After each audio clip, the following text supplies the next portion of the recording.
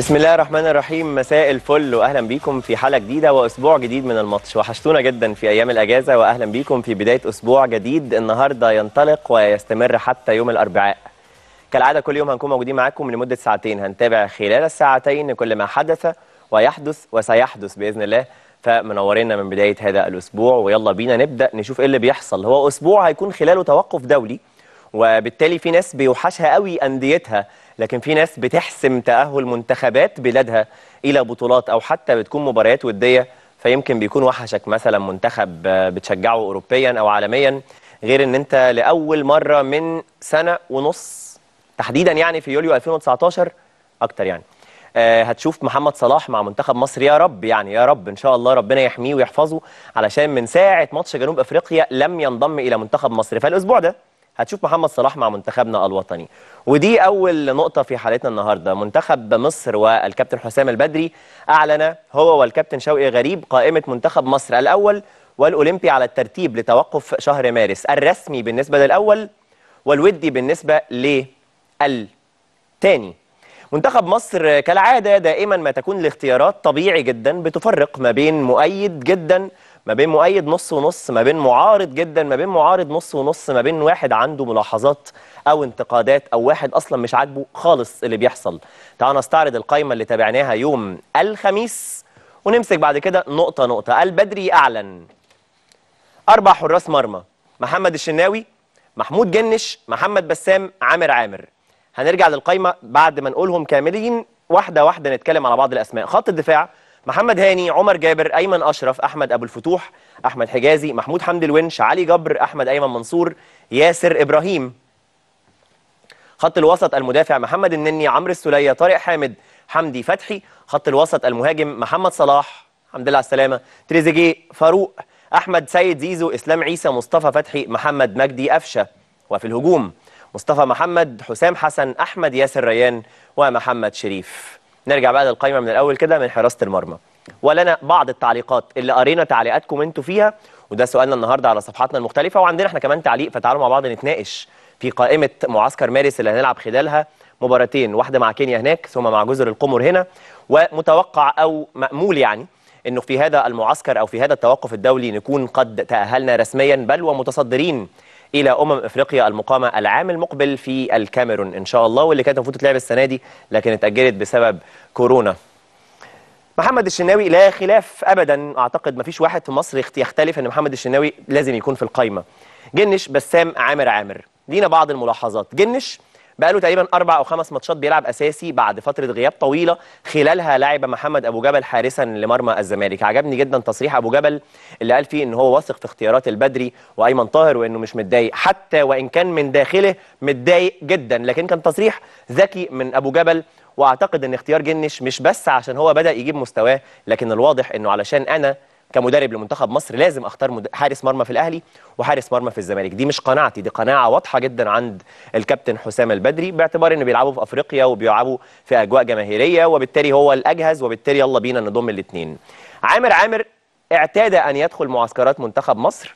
حصل قبل كده خلافات مع الجهاز الفني السابق واللي قبله للمنتخب الوطني عشان كان بينضم وبيخرج لكنه في النهاية بينضم بعد مستوى جيد جدا قدمه مع سيراميك كليوباترا من ساعة ما انتقل من الإنتاج الحربي هذا الموسم. محمد بسام قد يكون هنا الخلاف اللي عندي مثلا أنه محمد بسام آه حارس متميز لكن مش أحسن مواسمه خالص هذا الموسم. لكن رأيي أنه حسام البدري اختاره لأنه من رجال حسام البدري اللي بيثق فيهم جدا ومقتنع بإمكانياتهم بغض النظر هو دلوقتي جيد ولا مش جيد. مين البدائل؟ عبد المنصف اتضايق. عبد المنصف قدم موسم كويس. وجهة نظري أن عدم اختياره رغم أنه ممكن يكون اختيار تكريمي حتى لو ما كانش أول ولا تاني لكن هو في النهاية البدري بيقول إنه ده خلاص أنا دلوقتي عايز أجدد أعمار عايز يعني أنزل بالأعمار فبسام أكيد أقل سنا من محمد عبد المنصف حتى وإن كان عبد المنصف أفضل اداء من بسام هذا الموسم. كان من وجهة نظري شريف إكرامي ممكن يكون أحق كان من وجهة نظري عمر رضوان ممكن يكون أحق بالنظر بإنه برضه أنت بتتكلم بقى اولا في مشاركة مستمرة أداء جيد وحتى سن صغيرة لكن في النهاية دي اختيارات البدري على مستوى حراسة المرمى. خط الدفاع محمد هاني لا خلاف عليه. ظهير أيمن في وقت أنت بتفقد فيه المركز ده بشكل كبير في الدوري المصري. عمر جابر ظهير أيمن وفي نفس الوقت لاعب خط وسط وبالتالي بيوفر لك حلين إذا احتجته. أيمن أشرف كظهير أيسر أو كلاعب آه، مساك وهو في التدريبات بتاعه المعسكرات اللي فاتت بتلاقيه بيلعب في النص. ده بيتمرن مساك وده بيتمرن back left وهو موجود في النص. والله أنا جاهز. عايزين تاخدوني هنا عايزين تاخدوني هنا عايزين تقعدوني دكة أنا جاهز. فأيمن أشرف يعني لا لا خلاف إنه يكون موجود وكده كده برضه بيوفر لك اختيارات كتيرة. فتوح وحجازي والونش وعلي جبر وأحمد أيمن منصور وياسر إبراهيم. ياسر إبراهيم بيعود للمنتخب كان ليه تصريح غاضب جدا من حسام البدري من أشهر تحديدا يوم 27 آم، نوفمبر اللي فات بعد ماتش الأهلي والزمالك لما كان معانا هنا في مداخلة تليفونية وقال إنه القصة ما بتمشيش بس بالمستوى فهو كان يستغرب عدم انضمامه للمعسكرات وقد انضم ياسر إبراهيم بعد أداء متميز قدمه في الفترة الأخيرة. ما أعتقدش إن في مشاكل كتيرة قوي أحمد حجازي النهارده آه، بعد الطرد اللي خده في ماتش الاتحاد السعودي والرائد في الدوري السعودي في أول دقائق المباراة بسبب منعه انفرادا محققا للرائد طرد وبالتالي الأزمة بتاعه الحجر وإنه هيتحجر وهيتحجز قد كده صحيا. فمش عارف يلعب ماتش الكلاسيكو مع الهلال انعدمت لأنه مش هيلعب كده كده ماتش الهلال وبالتالي ستجد بنسبة كبيرة حجازي مع المنتخب في ماتش كينيا وفي ماتش جزر القمر هنا. خط الوسط. ودي عندنا فيها ملاحظات خط الوسط. يلا. النني عمرو السولية طارق حامد حمدي فتحي لا خلاف على الأسماء المنضمة. كلهم عندهم خبرات انضمام للمنتخب في المواسم الماضية آه، بنسب متفاوتة. لكن على مستوى خط الوسط المهاجم بعيدا عن الأجنحة اللي تريزيجيه وصلاح أكيد ضامنين مكانهم. محمد فاروق بيقدم أداء جيد بعد تجميده فترة لكن رجع بقى من أهم عناصر فريق آه، بيراميدز هذا الموسم. زيزو مش في أحسن حالاته الفنية لكن يثق جدا في حسام البدري. وقد يكون البدري مقتنع بأنه أنت أكيد مع المنتخب حاجة ومع الزمالك اللي عندك شوية مشاكل مع جماهيره الفترة دي أو مع تركيزك معاه بسبب عروض سواء إماراتية أو آه، تفاوض محتمل من الأهلي. فدي حاجة مع الزمالك معايا أنا أنت أكيد هتبقى جاهز. وزيزو نفسه أعتقد إنه سيكون أفضل من مع المنتخب من الزمالك في المرحلة دي. إسلام عيسى مؤخرا رجع بقى من من اللعيبة المؤثرة في بيراميدز شارك بانتظام مؤخرا وبالتالي ممكن يكون استغراب لكن أنتوا عارفين حسام البدري برضو من أيام الأهلي من أيام بيراميدز والآن في المنتخب بيثق جدا في إسلام عيسى ومحمد فاروق. مصطفى فتحي بعد ما خلاص رجع بالفورمه رجع بمشاركات بدنية عالية 90 دقيقة في ماتشات كتيرة مع سموحة بل وأهداف سواء كانت تصويبات أو ضربات جزاء. فانضمام يبدو منطقيا بالنظر كمان لأنه عنده خبرات دولية في المرحلة الماضية. مجدي قفشة دي القصة الواضحة الوحيدة اللي ممكن نعلق عليها بشكل كبير يعني. مين بديل قفشة في منتخب مصر؟ أنت عندك محمد إبراهيم من المتألقين في الدوري دقائق لعب كاملة في كل الماتشات. آه، بيلعب مراكز مختلفة ك playmaker زي قفشة أو كلاعب ارتكاز لما بيكون سيراميك كليوباترا عايز يهاجم أو حتى كجناح لما بتكون عايز تزود لعيبة في خط الوسط فتبقى أو لعيبة مهاجمين فمحمد إبراهيم يلعب كجناح. غيابه يبدو غريبا هو وأوباما. الحقيقة لأن الاثنين من أكتر اللعيبة اللي بتلعب في نفس مركز قفشة اللي كانوا يستحقوا الانضمام واحد فيهم على الأقل لكن يرى البدري إنه مش محتاج دلوقتي إلا قفشة اللي ربنا يعينه ويديله الصحة يعني. خط الهجوم أخيرا. مصطفى محمد حسام حسن أحمد ياسر ريان محمد شريف عرف يرجع مرة تانية لاختيارات البدري بعد ماتشات أثبت فيها آه تألقه مع الأهلي في المرحلة الأخيرة. أحمد ياسر ريان مبروك الانضمام للمنتخب من سيراميك كليوباترا.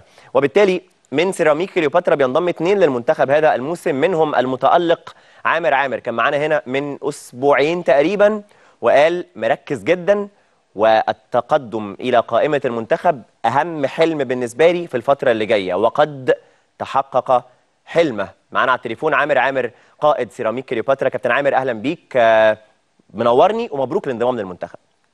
يعني حبيبي. ربنا يبارك فيك يا حبيبي وأنت وحشني جدا والله. أنت كمان وحشني. ببارك لك لأنك حاطط هدف من بداية الموسم ودلوقتي في أول معسكر من بداية الموسم بتنضم للمنتخب. والله الحمد لله. يعني أنا بشكر آه، الجهاز الفني للمنتخب على الثقة الكبيرة دي. م. ويا رب إن شاء الله اكون عند حسن ظنهم بإذن الله. بإذن الله. آه، حلم بالنسبة لك آه، انضميت للمعسكرات قبل كده كان في شوية مشاكل قبل كده بسبب خروجك ففضلت مصمم والسنة دي حتى مع فريق جديد قلت وأنت بتنضم له سيراميك كليوباترا إنك رايح له عشان المنتخب ده تحقق. شفت ده إزاي أو إزاي حصل من بداية الموسم لحد النهارده؟ والله الحمد لله من أول ما مشيت من الإنتاج الحربي و... وأنا حاطط آه، هدف قدامي م.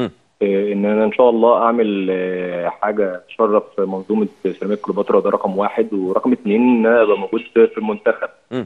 وده طموحي وطموحي لحد ما إن شاء الله يعني أبطل كورة إن أنا أبقى موجود في المنتخب. فالحمد لله يعني تعب الفترة اللي فاتت دي ربنا كرمني وقدرت أبقى موجود في القائمه مم. الحمد لله. الحمد لله. منافسة مع محمد الشناوي حارس الأهلي مع جنش حارس الزمالك مع بسام حارس طلائع الجيش وإنت موجود في القائمه شايف إزاي القدرة على التواجد سواء في القائمة النهائية إذا خرج حارس أو حتى في المشاركة آه، سواء في ماتش كينيا أو جزر القمر كابتن عامر؟ والله تواجدي في المنتخب في حد ذاته ده شرف ليا وشرف لأي حارس موجود في مصر. مم. آه، أتمنى إن شاء الله ال- ال- الفترة اللي جاية مع المنتخب آه، أدي بصورة كويسة إن شاء الله وأكون عند حسن ظن كابتن ايمن طاهر وأشرفه إن شاء الله وأكون في القائمه موجود. إن شاء الله. طيب خلينا وأنت معانا. آه، نستعرض أهم أرقامك هذا الموسم اللي خلالها عملت تصديات كتيرة خرجت كمان بعدد كلين شيتس أربع مرات من اللقاءات اللي لعبتها ال 17 مشاركة منتظمة بدون استبدال أو الحمد لله أي إصابة. استقبلت 18 هدفا. تصدى لضربه جزاء أمام الاتحاد السكندري عامر عامر صاحب ال 34 عاما. آه، انضمام مستحق بالنسبة للاعب طمح فيه واشتغل عليه. ببارك لك مره ثانية كابتن عامر. وإن شاء الله موفق وترجعوا لنا كمان من المعسكر ده بست نقاط متأهلين رسميا لأمم إفريقيا. حبيبي و- وإن شاء الله ربنا يكرمنا بإذن الله الماتشين إن شاء الله ونسعد جمهور مصر كله إن شاء الله. بإذن الله بشكرك جدا كابتن عامر عامر حارس مرمى سيراميك كليوباترا ومنتخب مصر الأول. الكابتن شوقي غريب في نفس اليوم وبعدها بدقائق أعلن قائمته هو الآخر لمعسكر مارس الودي اللي بيستعد بيه للأهم أولمبياد طوكيو في يوليو المقبل. فجاءت القائمة كالتالي ضمت قائمة منتخب مصر الأولمبي في حراسة المرمى عمر رضوان المتألق مع أسوان محمد صبحي المتألق مع الاتحاد السكندري جاد المتألق مع إمبي عمر صلاح غير المنتظم أساسيا مع سموحة ومصطفى شوبير الحارس الثالث في النادي الأهلي. خط الدفاع بيضم أسامة جلال صاحب الخبرات سواء بالمشاركة أساسيا مع إمبي قبل الانضمام لبيراميدز والمشاركة أساسيا أحمد رمضان بيكهام لاعب الأهلي محمود مرعي محمود الجزار محمد عبد المنعم عبد الغني محمد كريم فؤاد حسن علي وأحمد عيد ظهير الزمالك. خط الوسط العربي بدر عمار حمدي أحمد هاني آه المتألق مع الإسماعيلي آه مع طلائع الجيش أكرم توفيق إمام عاشور يوسف الجوهري أحمد سعيد أحمد الندري لاعب خط وسط متألق الموسم ده آه في المحلة محمود نبيل فوزي الحناوي عبده يحيى أحمد عبد القادر المتألق جدا مع سموحة والمعار من الأهلي وإبراهيم عادل نجم بيراميدز. في الهجوم صلاح محسن ناصر منسي أسامة فيصل فادي فريد طاهر محمد طاهر. نرجع بقى لخط الوسط سريعا. خط الوسط الدفاعي. زي ما قدام حضراتكم في الصف الثالث أو السطر الثالث بيتواجد محمود نبيل نجم فريق سيراميك كليوباترا صاحب أول أهداف سيراميك كليوباترا هذا الموسم في الدوري وفي تاريخه في الدوري المصري الممتاز بهدف كان سجله في الإنتاج الحربي متألق في خط وسط الفريق آه، رغم صغر سنه. محمود نبيل بلبل أهلا بيك منورنا. حبيبي يا هاني ربنا يخليك ليا وشكرا على المقدمه الجميلة دي. آه، تستحقها. مبروك مرة تانية الانضمام للمنتخب الأولمبي. وبفكرك آه، يوم ماتش الإنتاج الحربي بداية الموسم أول ماتش ليكم سجلت هدف أنت وكان معانا مداخلة هنا آه، مع بعض وقلت لي إنه آه، حلمك الموسم ده الانضمام للمنتخب الأولمبي. في أول معسكر بتنضم حلم تحقق سريعا بسبب أدائك. الحمد لله طبعا بشكر ربنا على انضمام المنتخب الأولمبي. شرف لاي لاعب طبعا تمثيل منتخب بلده. وإن شاء الله أنا هدف الاستمرار مع المنتخب والمشاركة طبعا وحلم بالنسبة اشارك في الأولمبياد ونحقق مركز يليق بمصر. لأن فعلا الجيل الموجود دلوقتي كله لعيبة مميزة وجهاز فني وجهاز فني على أعلى مستوى. وإن شاء الله نشرف مصر يعني بإذن الله. بإذن الله. إزاي آه، اشتغلت على ده؟ عملت إيه من بداية الموسم من وقت صعود سيراميك كليوباترا إنك تبقى أساسي في في الفريق وبعديها تنضم لمنتخب مصر الأولمبي؟ والله طبعا ده يعني أنا بشكر ربنا أنا طبعا موجود في منظومة محترمة زي سيراميك كليوباترا. طبعا أحب أوجه الشكر لسيادة النائب محمد أبو العينين ومستر طارق ومستر معتز وكابتن هيثم. طبعا إن هم موفر لنا كل سبل النجاح. وطبعا أحب أشكر كابتن هيثم يعني بشخصه لأن هو راهن عليا من السنة اللي فاتت. وكملت معاهم في الدوري الممتاز. طبعا وسط لعيبة ونجوم كبار. وقدرت أحافظ على على مركزي وإن أنا أبقى متواجد بشكل أساسي. دي طبعا حاجة كانت آه، يعني كنت كانت صعبة. والحمد لله قدرت إن أنا أحافظ عليها.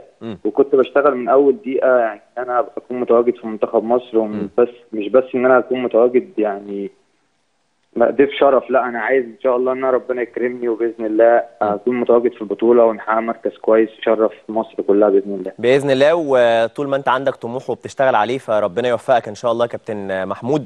وسؤالي الأخير ليك في, في السياق ده يعني الكابتن شوقي غريب هل حصل كلام بينكم ولا لسه؟ يعني إزاي تلقيت خبر انضمامك للمنتخب؟ لا هو أنا لسه يعني أنا ما اتكلمتش مع كابتن شوقي غريب. طبعا كابتن شوقي غريب مدرب كبير وأنا يعني برضه هستفاد منه أكيد. و- وبك ان شاء الله بكرة أول ميعاد ليا في المعسكر. إن شاء الله يعني يكون في بينا كلام بكرة بإذن الله. ربنا يوفقك إن شاء الله. منافسة شرسة لكن كلها لمصلحة منتخب مصر الأولمبي في النهاية على مستوى خط الوسط الدفاعي. ببارك لك مرة ثانية يا بلبل وربنا يوفقك. شكرا الله يبارك فيك شكرا. شكرا ليك وبالتوفيق نورتنا. طيب خليني أقول لكم إنه بعيدا بقى عن الإعلان عن القائمتين ربنا يوفق المنتخبين إن شاء الله لإسعاد الجمهور المصري. فاتحاد الكرة المصري أصدر بيانا بعدها وبيتكلم فيه على اجتماع مع لجنة الأندية أو مع الأندية ال 18 في الدوري المصري الممتاز من خلال ممثليهم. ما بين السطور مهم جدا إنك تقراه دايما تحديدا في بيانات اتحاد الكرة المصري اللي جه بيانه كالتالي. قال فيه إنه أحمد مجاهد رئيس اتحاد الكرة طرح خلال اجتماعه مع مندوبي أندية القسم الممتاز رؤية الاتحاد في تخفيف ضغط المباريات على الأندية تفاديا لامتداد الموسم الحالي إلى ما بعد سبتمبر المقبل اللي هو قال إنه آخرنا 30 سبتمبر. فعشان ما نزيدش لده ما نعديش ده نعمل إيه؟ حدد بموافقة الأندية أن تلعب مباريات الدوري كل 72 ساعة أو بقى إنكم توافقوا لو مش عايزين تلعبوا 72 ساعة وتقولوا لنا تعبانين ومضغوطين تلعبوا بدون لاعبي المنتخب الأولمبي خلال فترة إعداده اللي هي في شهر 6 وخلال مشاركته في أولمبياد طوكيو اللي هي ما بين 7 و8 بالإضافة إلى لعب الدورين 16 و8 لبطولة كأس مصر من غير اللاعبين الدوليين. إيه رأيكم؟ ده ولا ده أي الوحشين تختاروا؟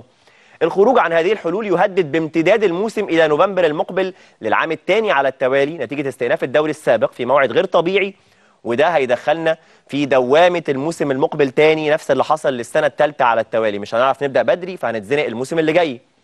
قالوا إن أندية الدوري المشاركة في الاجتماع توزعت آرائها بين امتداد الموسم لشهر نوفمبر. يا باشا ما عندناش مشكلة نكمل لنهاية لنوفمبر. إن شاء الله نقعد سنتين نلعب في موسم واحد. بعضهم قالوا لا إلغي الموسم.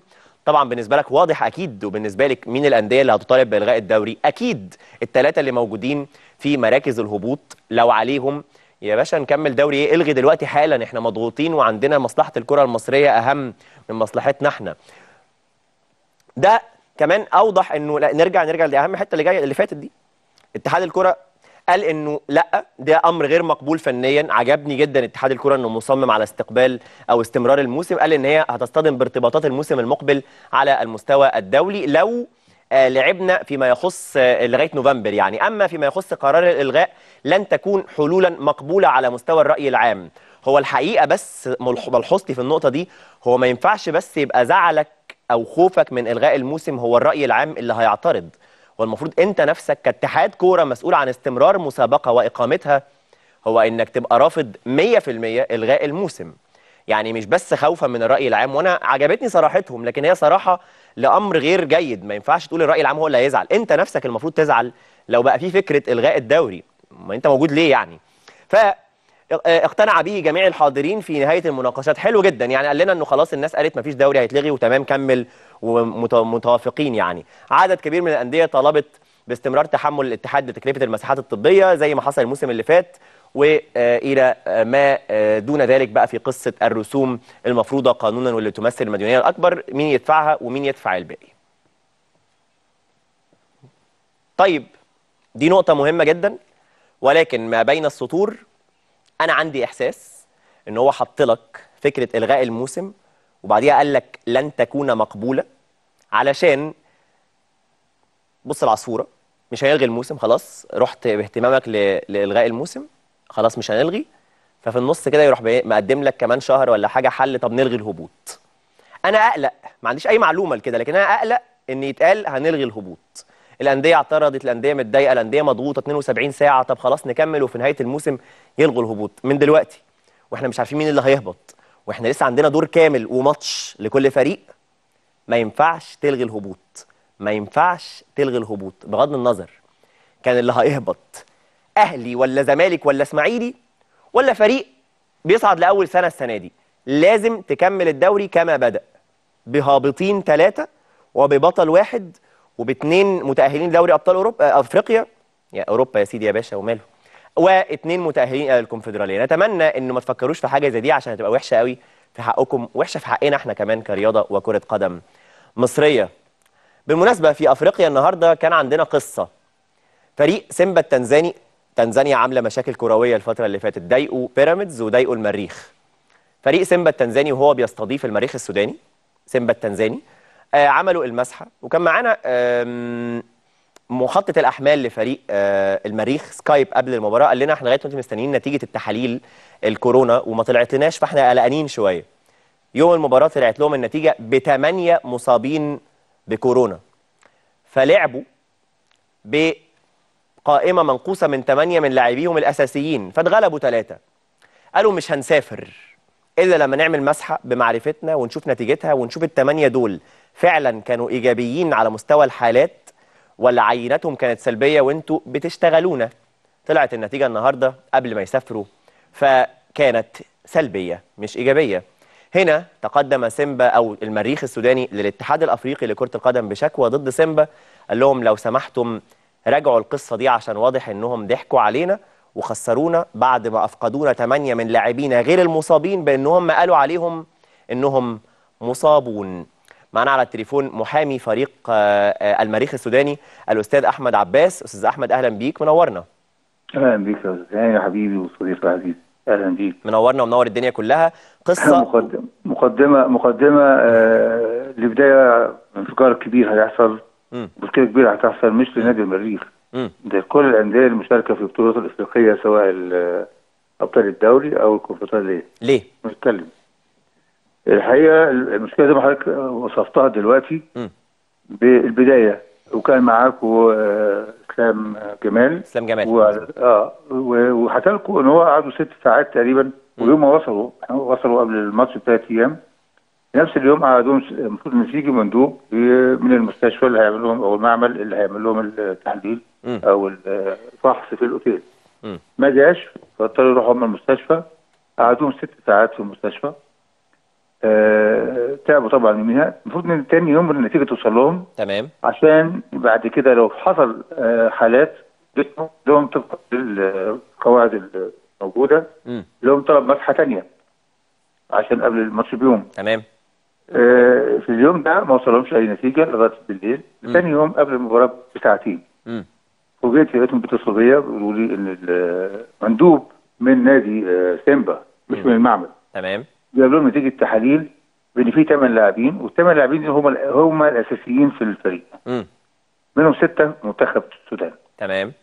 أنا أنا شخصيا كنت معاهم قبل ما يسافروا بنفس الليلة. أيوه. آه بيوم كنت بعمل تحاليل ال- الفحص ده عشان أسافر من السودان لمصر. مم. وعملت معاهم التحاليل. تمام. آه ف- ف- بسرعة على طول بعت ال- الاحتجاج للجنة ال- ال- الكاف تمام. الطوارئ لجنة الطوارئ. وقلت لهم الوضع كذا كذا وفي ثمان في ثمانيه لاعبين مصابين.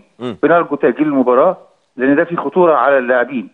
خطورة على أنهي لاعبين؟ اللاعبين اللي هم اللي كانوا معاهم لو على فرض إن في ثمانيه مصابين أيوه. إذا اللاعب الباقي للفريق مصاب. في احتمال يكون مصاب. أو احتماليه مظبوط. وهيلعبوا المباراة فإذا هينتقل العدوى إلى لاعب ديسمبر تمام. طبقا لنص المادة الثانية من لائحه النظام العام.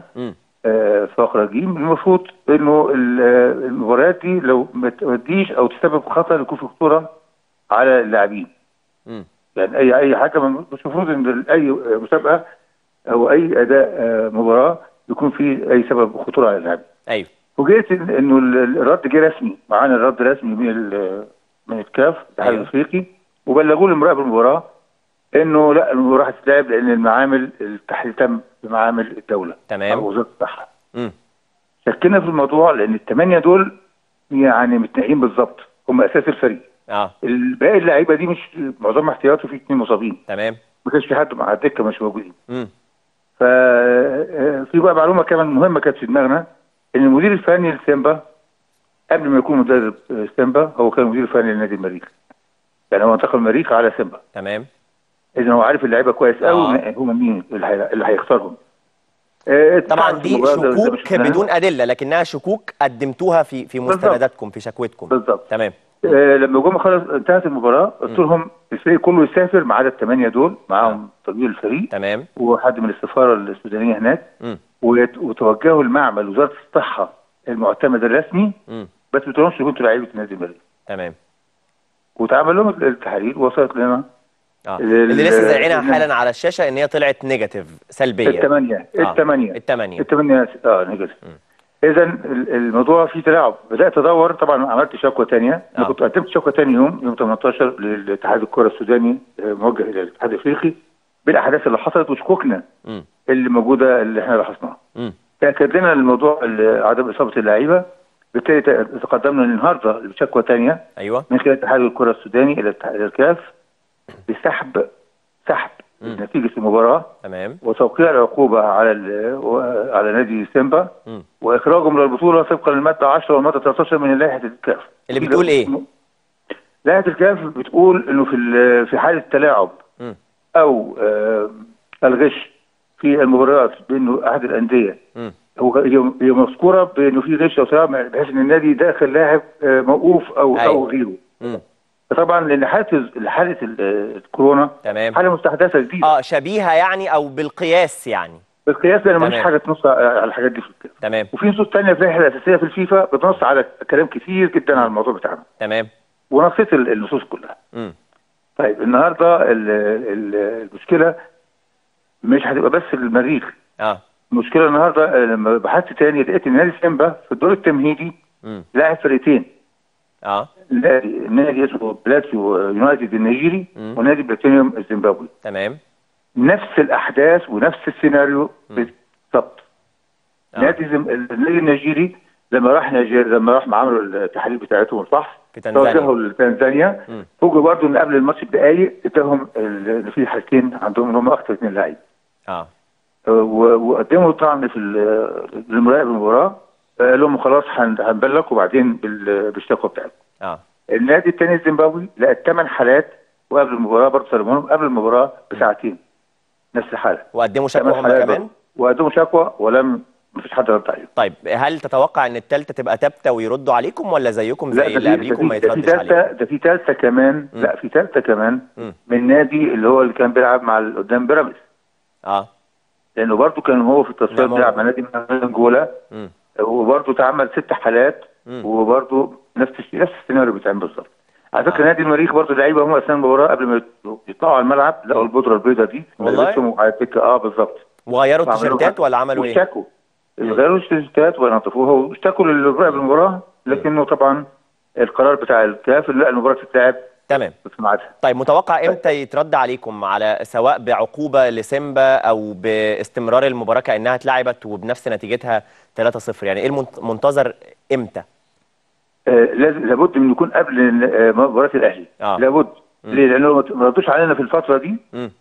أنا هبتدي آه، آه، أرفع دعوة ثانية أو شكوى إلى الكاس محكمة الكاس اللي بتبقى تحكيم الرياضي في الرياضية. الرياضية. بالمستندات اللي معايا. لكن هيوقع عقوبة كبيرة جدا على الاتحاد الأفريقي. آه. لأنه لأنه في حاجة في حاجة مهمة جدا. آه، ال- الاتحادات القارية والاتحاد الدولي لما بيعمل بطولات آه، دولية. لابد على قياسا على المنشطات. في لجنة طبية محايدة هي اللي بتقوم بهذا العمل. تمام تمام. لكن ما تروحش تقول لي ال- الدولة هم يعملوها عن طريقهم. وعلى فكرة كل الحاجات اللي ذكرتها دي كان نادي سيمبا هو اللي بيسلم النتيجة. أيوه. فالمفروض إن في لجنة طبية محايدة بيعملها الكاف عشان المتابعة ده. وضحت بشكرك أستاذ أحمد عباس المستشار القانوني لنادي المريخ السوداني نورتنا وشكرا على التوضيحات وفي انتظار ما ستسفر عنه تحقيقات الاتحاد الأفريقي لكرة القدم في هذه المجموعة المعقربة اللي الأهلي الحمد لله عرف يخلع من عقربتها بتحقيق فوز مهم جدا على بيتا كلوب في الجولة الماضية. مجموعة خلالها اشتكى المريخ من قصة سيمبا وخلالها اشتكى سيمبا من قصة فيتا لما قال إن هم أشركوا آه، لاعبين فيت سيمبا من المريخ إن هم أشركوا لاعبين ما ينفعش يشتركوا ومجموعة يعني ده غير إن الأهلي كان اتعادل فيها مع فيتا فهي المجموعة رايحة جاية لكن في النهاية هنشوف إيه اللي هيحصل. وطبعا قصة بودرة العفريت دي عشان تبقوا فاهمينها لو أنتم ما تابعتوهاش كانت قصة إن بيراميدز طلع بيان قال فيها إن اتفاجئنا بمادة بيضاء مرشوشة على تيشيرتاتنا جوه غرف الملابس تسبب الهرش للاعبين. لكن الحمد لله غيروا التيشيرتات ولعبوا وكسبوا 2-0 نامونجو التنزاني ومعاهم ست نقاط من آه، مباراتين وهي نتيجة رائعة جدا لبيراميدز في الكونفدرالية الإفريقية. المدرب السادس اللي بيمشي من الإسماعيلي في ظرف دور إلا مباراة رحل يوفيتش وأنا أعتقد إنه لم يكن سيئا لكن الأجواء ممكن تكون هي اللي السيئه جدا لدرجة تحقيق هذه النتائج رحل ريكاردو بعد ثلاث مباريات خلفه وهبه مؤقتا ثم رحل وجاء أبو طالب العيسوي شوية ومشي وجاء خالد القماش نص شوية ومشي ثم أحمد العجوز حبه قليلين ورحل وبينهم الكابتن طلعت يوسف ما جاش أصلا ومشي ثم دراجان يوفيتش اللي النهارده أو امبارح بيعلن الرحيل. في وقت تدرب فيه الفريق من 28 29 مارس ل 18 من 28 29 يناير ل 18 مارس أدار خلالها سبع ماتشات بالدوري ومباراة في الكأس كسبها. آه 2-1 تعادل ثلاث مرات وخسر أربع مباريات. سجل الإسماعيلي معه خمسة واستقبل ضعفهم.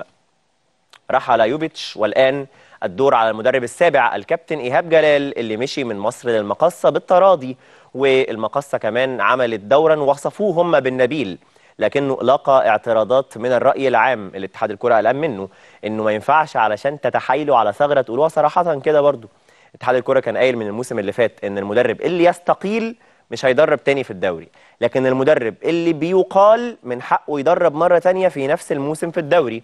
فالمقصة قالوا رغم إنه إيهاب جلال هو اللي مستقيل إحنا بالاتفاق معاه أقلناه عشان نخليه يدرب الإسماعيلي. أعتقد إنه من أول ما القصة اتعملت قلنا ان هنلاقي فيها ثغرات. هي ثغرة مديها لكم اتحاد الكرة على طبق من ذهب فطبيعي إن أنتوا تستغلوها. فاللوم هنا مش على المقصة بس لكن على المقصة واتحاد الكرة اللي آه، حط أساسا القرار. لكن إيهاب جلال الكابتن إيهاب جلال المتميز جدا على أي حال لكن الرحالة على مستوى الأندية حتى الآن لسه في مناقشات هو في الإسماعيلية دلوقتي علشان يحدد إيه موقفه وعلشان آه، يتضح الأمر آه، إيه اللي هيحصل آه، على مستوى بعض المطالبات. القصة واضحة يعني إنه أنا عايز يبقى تعاملي مباشرة مع الكابتن علي أبو جريشة والكابتن عماد سليمان كلجنة فنية. قالوا له لأ هيكون ال- المهندس إبراهيم عثمان مشرف على الكورة. فهنا النقاش اللي حتى الآن لم يجعل الصفقة معلنة رسمية لكن متوقع إن هي تحسم في النهاية بتلبية طلبات الكابتن إيهاب جلال. أخيرا وقبل ما نسيب الكرة المحلية معانا على التليفون أحد النجوم المتألقين في الدوري المصري الممتاز هذا الموسم والموسم اللي فات فادي فريد المنضم للمنتخب الأولمبي. كابتن فادي أهلا بيك. أهلا بيك كابتن هاني ازي حضرتك الحمد لله بخير. مبروك الانضمام للمنتخب الأولمبي وربنا يوفقك. الله يبارك فيك. طبعا آه، شرف كبير لأي حد إنه يمثل منتخب مصر. فرصة كبيرة أتمنى إن أنا أكون قدها وإن شاء الله أبقى موجود في الأولمبياد مع المنتخب ومع كابتن شوقي إن شاء الله.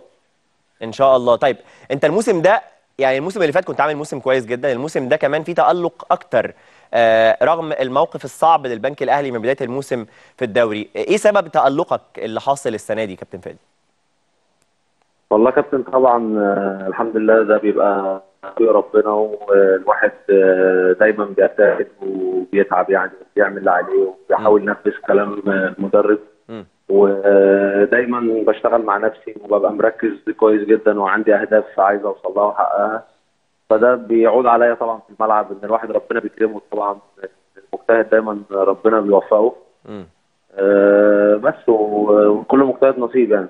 المعسكر يبدأ بكرة إن شاء الله إن شاء الله بإذن الله. آه منافسة برضو على مستوى المهاجمين آه معاك أسماء آه قوية في خط الهجوم. شايف إزاي المنافسة؟ عشان تستمر مش بس في المعسكر الودي لكن في الأولمبياد الفترة اللي جاية. طبعا معايا مهاجمين مميزين جدا كلهم بيلعبوا وبيأدوا بشكل كويس في الدوري. يمكن المهاجم دايما آه، أرقامه بتتكلم عنه آه، فدايما المنافسة في الدوري شرسة. آه، عليا كمان إن أنا لما أروح المعسكر وأبقى موجود إن أنا أأكد الكلام اللي يعني أأكد المجهود والمستوى اللي أنا بقدمه في الدوري قدام قدام الكابتن أو قدام عينيه يعني. آه، وفي الآخر أتمنى إن أنا آخد الفرصة ابقى موجود في في الأولمبياد يعني. ربنا يوفقك بإذن الله. أنت مين مثلك الأعلى؟ مين المهاجم المفضل ليك؟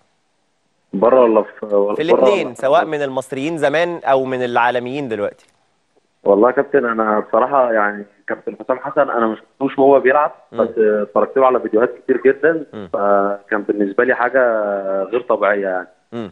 آه، بالنسبة لي مثل أعلى طبعا كابتن عماد متعب عشان أنا اتمرنت معاه فترة في النادي الأهلي كان. برضه بالنسبة لي ثروت آه، ذكي جدا مم. وبيقدر دايما يخلص قدام الجول يعني أيوه أكيد بالنسبة لبره طبعا آه، ليفاندوفسكي وكافاني آه ليفاندوفسكي أهداف آه، ما بتتوقفش حتى لو فريقه مطرود منه واحد بيسجل هاتريك فإن شاء الله تبقى زيه في يوم من الأيام.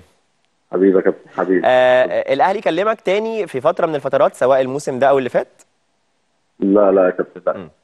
ربنا يوفقك بإذن الله يا كابتن فادي مره تانية مبروك الانضمام لمنتخب مصر الأولمبي وبالتوفيق. حبيبي حبيبي حبيبي كابتن. شكرا لفادي فريد مهاجم البنك الأهلي. بالمناسبة في لعيبة بتتضايق قوي إن هي ما بتنضمش فبتطلع تويتات وبوستات الجمهور اتضايق منهم واتريق عليهم بما فيهم نجوم الكرة السابقين. مثلا آه، محمد ناجي جده كتب تويته بيقول فيها أنا هعمل إيه أكتر من كده عشان انضم؟ في إشارة إلى اللاعبين اللي ما انضموش وكلهم كتبوا باستثناء شريف إكرامي الذكي جدا اللي كتب تويته بيقول فيها ما عنديش مشكلة بالتوفيق للمنتخب آه، مع اختياراته بل وما علقش أصلا إن هو انضم ولا ما انضمش. في بعضهم ممكن يكون اعتراض منطقي وبعضهم مش منطقي خالص إن هم يعترضوا إن هم أصلا ما بيلعبوش مع أنديتهم. فإزاي ما يلعبوش مع أنديتهم ومتضايقين إن هم ما يروحوش منتخب؟ فتبقى قصة غريبة شوية لكن في النهاية هو حق مشروع للكل إن يكون طامح في الانضمام إلى منتخب بلاده. في أجازتنا امبارح بقى اتعملت قرعة دوري أبطال أوروبا في دور الثمانيه وما بعدها دور الأربعة وعرفنا كمان الطريقين بتوع الفاينل للبطولة الأغلى على مستوى الأندية حول العالم. فجاءت القرعة حلوة قوي لتشيلسي لكن الباقيين بقى بايرن ميونخ هيلعب مع باريس سان جيرمان في نهائي مكرر من النسخة الماضية لكن المرة دي في ربع النهائي. الفائز منهم هيلعب مع الكسبان من مانشستر سيتي الإنجليزي مع بروسيا دورتموند الألماني.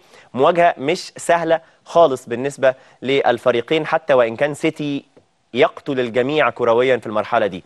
تشيلسي بيلعب مع أصعب فرق القرعة بورتو البرتغالي. بهزر طبعا لكن هي يعني برضو محفوفة بالمخاطر. ما ينفعش الواحد يعتمد إن هي مباراة صعبة أو سهلة لأن هي برضو ده فريق أقصى يوفنتوس بذكاء. والفائز منهم هيلعب مع الكسبان من آه، النهائي بتاع النسخة قبل قبل اللي فاتت ريال مدريد الإسباني وليفربول الإنجليزي. ماتشات الذهاب هتبقى يوم 6 و7 إبريل والعودة يوم 13 و14 من الشهر نفسه.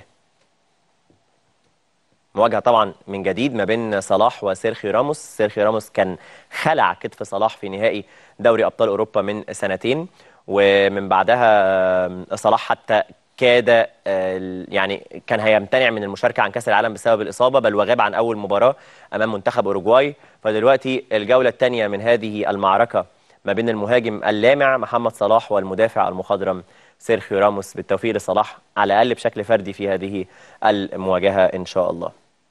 أخيرا وقبل ما نطلع لفاصل آه، سريع عشان نقول بعض الأخبار السريعة قبل ما نلتقي ضيفنا اللي هنقول لكم عليه حالا.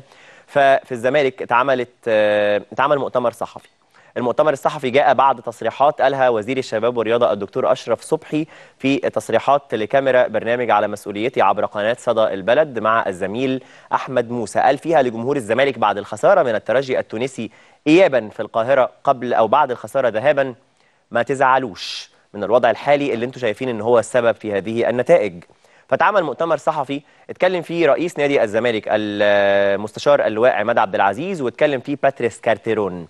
اللي بعد المؤتمر قال والله الترجمة كانت غلط والكلام اللي اتقال فيه مش كله قلته. إيه اللي حصل في قصة المؤتمر؟ هو مبدئيا اعتراضه على قصة إنه أنا التعاون كان عايز يمشيني بس أنا ما مشيتش. قال الترجمة كانت غلط. إيه بقى اللي حصل؟ مسؤول الزمالك أساسا اختاروا كارتيرون زي ما اختاروا الإعلام قبل المؤتمر بس بثلاث ساعات. فكارتيرون راح بسرعة واخد هدومه ونازل هو وفرناندو مدرب الأحمال ووكيله. وراح لهم كمان الكابتن أسامة نبيه المدرب العام. لكن ما كانش موجود أحمد شعبان مترجم كارتيرون لأنه كان أجازة زي باقي الفريق فخد الأجازة وطلع بره القاهرة فصعب إن هو يرجع. أسامة نبيه المدرب العام ووكيل كارتيرون حازم فتوح الاثنين رفضا القيام بأعمال الترجمة لرفع الحرج عن الثنائي. طب ندور بسرعة على حد. المؤتمر نفسه اتأخر ساعة ونص. طب نلحق بقى ندور في الساعة ونص على مترجم. فوفر مسؤول الزمالك مترجما للغة الروسية يعني هو مصري بس بيترجم روسي من أعضاء النادي علشان يترجم الكلام الإنجليزي بتاع كارتيرون للعربية بعد ما قال العلاقات العامة في النادي. آه أنا بترجم روسي بس كمان بعرف أترجم من إنجليزي لعربي. اتفضل. كارتيرون اتكلم بالإنجليزي. نقل المترجم بعض العبارات الخاطئة اللي جه أبرزها رغبة النادي التعاون في فسخ العقد بعد شهرين بس من عمله. فمسؤولو التعاون اتصلوا بكارتيرون. إيه اللي أنت بتقوله ده؟ فقال لهم ما حصلش. فراح كاتب قال لهم أكيد الغلط في الترجمة. راح دخل على تويتر وجاب أي حد مترجم الخبر من المواقع كان موقع كايرو ستاديوم وراح قال إن التصريح ده تصريح وصفه بالغبي وأنا ما قلتوش. علشان برضه ما يبقاش خسر الكل كفاية خسران جمهور الزمالك كمان هيخسر مسؤولي التعاون. هو مش ناقص. عبر مداخلة تليفونية وقبل الفاصل معانا الزميلة نانسي القاضي عشان نعرف من الإسماعيلية إيه آخر أخبار التفاوض؟ وربما التعاقد مع الكابتن إيهاب جلال لقيادة سفينة الدراويش آه، نانسي أهلا بيكي. آه، منورة. والأول بقول لك آه، برافو على شغلك الهائل اللي عاملاه طول الفترة اللي فاتت والحالية. إيه آخر الأخبار عن التعاقد مع الكابتن إيهاب جلال؟ تحياتي ليك زميلي هاني حتحوت وتحياتي لكل مشاهدي صدى البلد في كل مكان. آه، بالتأكيد شغلنا من خلال برنامج الماتش ده تعاون آه، كلنا يا هاني. فالحمد لله. لله يعني إن إحنا قادرين نقدم حاجة كويسة للمشاهد وخاصة مشاهد إسماعيلية كمان المهتم جدا بأخبار النادي الإسماعيلي مم. آه، إحنا موجودين في القاهرة يا هاني في القاهرة أحد آه فنادق آه، التجمع الخامس. التجمع الخامس مم. في جلسة مستمرة يعني داخلين في ست ساعات كمان يعني مش أربع ساعات ولا خمس ساعات لأ ده دي معدية كمان أيوة. الساعة 6 تقريبا. آه في جلسة موجود فيها المهندس أحمد عثمان عضو مجلس نواب عن محافظة الإسماعيلية وكمان اللجنة الفنية كابتن علي أبو بيشة وكابتن عماد سليمان والمهندس مدحت الورداني مع كابتن تامر النحاس وكيل كابتن إيهاب جلال جلسة طبعا وفي موجود كمان من إدارة النادي الإسماعيلي المهندس سياده المستشار محمد الكلية المستشار القانوني للنادي الإسماعيلي عضو مجلس الإدارة مم. يمكن الجلسة مستمرة آه، زي ما قلت لك ست ساعات كده في مفاوضات كتيرة جدا مم. كابتن إيهاب جلال مش موجود منتظرين إن الاتفاق يكون بشكل نهائي عشان يكون هو موجود ويتم التوقيع بشكل رسمي. الموضوع طول شوية ليه مطول كده يا نانسي؟ يعني بيكتبوا العقد آه، وفي الاتفاقات بعض الاتفاقات على. بنود العقد. آه، أكيد كان في اختلافات. واسترحاب من من الطرفين وكابتن إيهاب جلال حابب إن هو يكون موجود مع النادي الإسماعيلي الفترة بس وهي كل الفكرة كلها آه، موضوع آه، اللائحة كمان آه، بتتظبط من خلال ال- الجلسة. مم. يعني ممكن خلال الساعة اللي جاية يكون في آه، خبر حلو لكل آه، جماهير الإسماعيلي. آه، جمهور الإسماعيلي نفسه إزاي تلقى خبر التفاوض واقتراب إتمام التعاقد؟ يعني هل حسيتي بفرحة في الشارع الإسماعيلاوي بالنظر لأنه الكابتن إيهاب جلال نتائجه مع الفرق السابقة كانت جيدة ولا آه لسه حالة الإحباط موجودة بشكل عام؟ هو نتمنى طبعا إن الكابتن إيهاب جلال آه، أو جماهير الاسماعيلي طبعا آه، بيتمنوا إن الكابتن إيهاب جلال يكون موجود في الإسماعيلية وفي النادي الإسماعيلي. هو نجم من نجوم النادي الإسماعيلي وفرحانين جدا بالخبر لأنه آه، ممكن يكون آه، خبر اتأخر كتير جدا. يعني سنوات إن هم حاولوا إنه كابتن إيهاب يكون موجود أكتر من مرة ولكن كان بي بي مرتبط ب آه، أماكن أخرى وإن هو كان آه، بيقود آه، فريق مصر المقاصة و- وغيره من الأندية. ولكن وجود اللجنة الفنية كابتن علي أبو جريشة والمجموعة اللي معاه فقادرين إعادة البيت من الداخل وهو ده الأساس. في لجنة فنية كويسة منتظرين إن يكون في مدير مدير فني بحجم آه، كابتن إيهاب جلال كمان يقود الفريق لأنهم شايفين إن الفريق في آه، خامات كويسة يقدروا إن هم يعبروا من الأزمة دي كبوة كبيرة لأن إحنا بنتكلم النهارده مئويه النادي الإسماعيلي 20 مارس آه، ده كان باسم نادي النهضة. مظبوط. يعني اتغير بعد ثلاث سنين فالنهاردة الاحتفال بالمئوية يا رب كمان يكون احتفال بوجود كابتن إيهاب جلال اللي هو مرحب جدا يعني من الكواليس اللي إحنا نعرفها إن هو فرحان جدا كمان إن هو يكون موجود في النادي الإسماعيلي. وما ما ترددش لحظة لما اللجنة الفنية تواصلت معاه واتكلمت معاه إن هو يكون موجود مع جهازه الفني. ومفروض إن كابتن محمد إبراهيم الجهاز كامل هيكون موجود معاه وكابتن مصطفى آه، كمال. فيا رب الساعة إحنا موجودين وهيكون إن شاء الله لو قبل الساعة واحدة قبل نهاية البرنامج هنقدر تمام. نطلع بكابتن إيهاب لايف آه، بعد التوقيع بإذن الله. إن شاء الله. موفقة يا نانسي. بشكرك وبالتوفيق آه، في إتمام التعاقد بالنسبة للدراويش الإسماعيلي مع الكابتن إيهاب جلال المدير الفني المحتمل والمنتظر للإسماعيلي آه، بعد الرحيل عن المقصة اللي متوقع إنه يخلفه آه، في آه، قيادة فريق مصر للمقصه في الساعات المقبلة. ربما بعض الأسماء المرشحة أبرزهم الكابتن مختار مختار وآخرين آه، زي ما علمنا.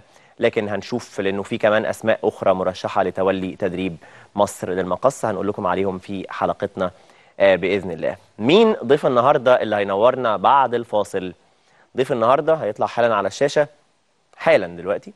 هو بعد الفاصل هينورنا.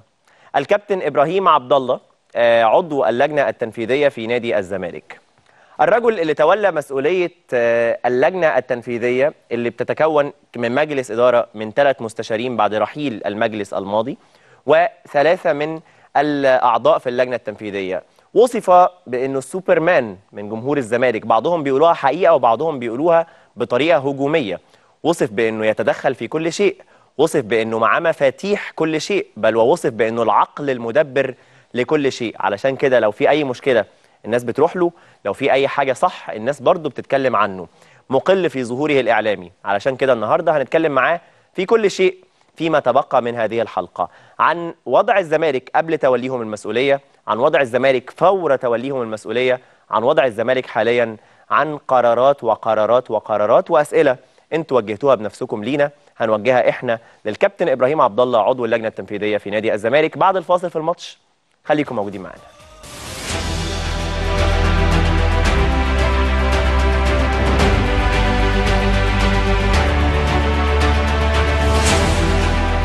بالنسبة للأهلي إن شاء الله يعني الأهلي آه، هيصعد أول مجموعة إن شاء الله.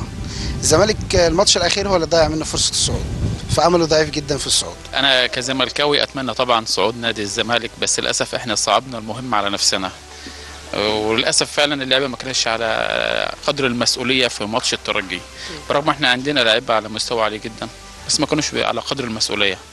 نسبة الصعود قد تكون 50% مش أكتر من كده. بالنسبة للأهلي فعلا عمل ماتش جامد في في الكونغو. واعتقد إن الأهلي هيصعد تاني بعد سيمبا. لا أنا شايف إن الأهلي فرصته كبيرة والأهلي كده تقريبا بنسبة 90% ضمن الصعود بس الزمالك هو اللي صعب الموضوع على نفسه وكده فرصته ما تتعداش 10% كل الكلام اللي اتقال غير كده كله تجميل. الزمالك كده خلص على نفسه بنفسه وفرصته صعبة خالص ومفروض يستعد بقى للسنة الجاية. أنا شايف آه، حسابيا ورقة وقلم إن فرص الزمالك آه، يعني تكاد تكون ما تتخطاش ال 30% تمام؟ خصوصا إن هو أهدر فرص آه، اللي في القاهرة دي. فيعتبر الموضوع بالنسبة له منتهي لكن الأهلي ما شاء الله فارق. آه، هو كان وصلنا لمرحلة إن إحنا خلاص فقدنا الأمل لكن الأهلي طبعا آه، بيقدر يلم نفسه قوي. إنه فريق بيلعب دايما على البطولة. ففعلا أثبت إن هو فريق رايح بيقول لهم لا أنا أنا بطل القاره وأثبت العكس خالص. عن المباراه اللي كانت هنا وراح هناك وجاب 3 بونت آه، بأداء وتعاون وتكاتف اللعيبه كلها مع بعض. والله بالنسبة لنادي الزمالك كل حاجة في الكورة ما فيش في الكورة حاجة اسمها مستحيل. ممكن إن شاء الله نادي الزمالك يكسب الماتشين الجايين والفرق التانيين يلعبوا لصالحه بإذن الله إن شاء الله. اولا إن شاء الله الفرقتين يساعدوا ان الاتنين بيمثلوا البلد. ده رقم واحد. رقم اتنين آه، شايف إن فرصة الأهلي في الصعود آه، أكتر من الزمالك. بس إن شاء الله الزمالك يحاول يعني الحظ يعني يكون معاه ويصعد ده قائمة المنتخب رأيك فيها آه، قائمة كويسة واللعيبة كلها فعلا محترمة. بس عندي تحفظ على يعني إيه؟ آه، اتنين من اللعيبة آه، أبو جبل ومحمد إبراهيم. المفترض يعني بصراحة مستواهم عالي جدا حاليا. هو اختار آه، لعيبة بتلعب أساسي في الدوري وكل اختياراته كانت حلوة. آه، خصوصا الهجوم. الهجوم ممتاز جدا اختياراته. قايمه فيها له ما له وعليه ما عليه في يعني في حراسة المرمى هو الشناوي وتقريبا أبو جبل على ما أتذكر وجنش. آه. هو جميل قوي بس هو كده مركز يعني أنا حاسس إن هو مش شايف شريف إكرامي. أنا شايف إكرامي عالي قوي يكاد يكون حتى يعني الناس كلها بتتكلم كمان على على أوسا يعني إن هو ممكن إن هو كان كان كان ممكن يتبص عليه ويتحط عليه. إيه المانع إن أنا أكون راجل sport؟ عندي خبرات ورا اتنين آه، صغيرين. هي القائمه حلوة بس بصراحة في اثنين لعيبة زي إسلام عيسى ومحمد فاروق بصراحة مش خبرة دولية يعني ما أعرفش ليه خدوهم. في ناس أحسن منهم بكتير يعني. اسلام عيسى هو ماتش يلعبه ما أعرفش ليه خدوه أصلا. ومحمد فاروق في ناس أحسن. شايف إن القائمه كويسة وهو اختار الناس اللي هو ممكن يعتمد عليها وشايف إن فيهم كتير ناس رجالة. واحد زي طارق حامد برضو راجل عنده experience وعنده خبرة كبيرة في الملعب. واحد زي محمد صلاح النني السولية الناس دي كلها هتأدي إن شاء الله بشكل كويس. وإن شاء الله نتفرج على مصر في النهائي.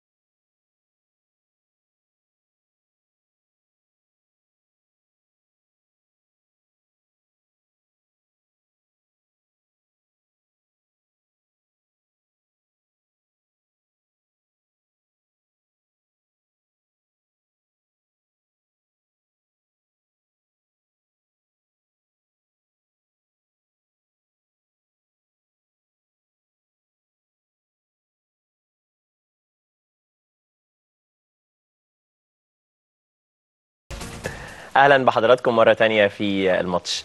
منورني آه، السوبرمان آه، الكابتن عبد الله إبراهيم عضو اللجنة التنفيذية في نادي الزمالك. هكذا الكابتن إبراهيم عبد الله عضو اللجنة التنفيذية في نادي الزمالك. يصف الزملكاوية بكده لكنه هو يصف نفسه بأنه يد من أيادي إصلاح الوضع داخل نادي الزمالك. مقل جدا في الظهور زي ما قلنا ومنورنا هو النهارده للرد على أمور كثيرة وتوضيح أمور أكثر. كابتن إبراهيم أهلا بيك. ازيك يا كابتن هاني. أخبارك إيه؟ الحمد لله تمام. سعداء جدا إنك بتشرفنا. بقالنا كتير بنتواصل معاك على أمل إنك تنورنا. كنت شايف إنه مش الوقت المناسب فشكرا إنك موجود معانا النهارده. أنا بشكرك إن أنا موجود معاك النهارده برضه. كله بخير؟ الحمد لله. نشوف تقرير مع بعض وبعديها نبدأ مع بعض الماتش مع الكابتن إبراهيم عبد الله.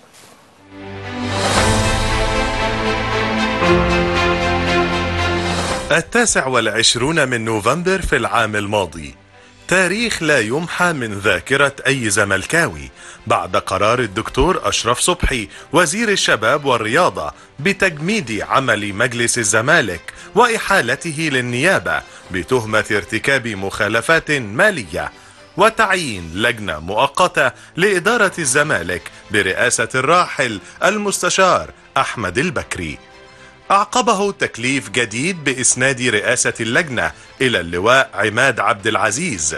وفقا للائحة النادي التي طالتها بدورها طعون البطلان.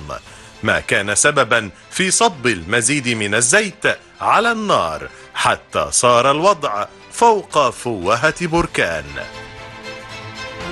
وسط هذه الأجواء المحتقنة والتربص من كل اتجاه واتهامات بالتقصير والتقاعس قبلت لجنة الزمالك ومعها لجنة تنفيذية من خيرة خبراء ورموز الزمالك تحديا تنوء عن حمله الجبال. في توقيت أقل ما يوصف به أنه مرعب.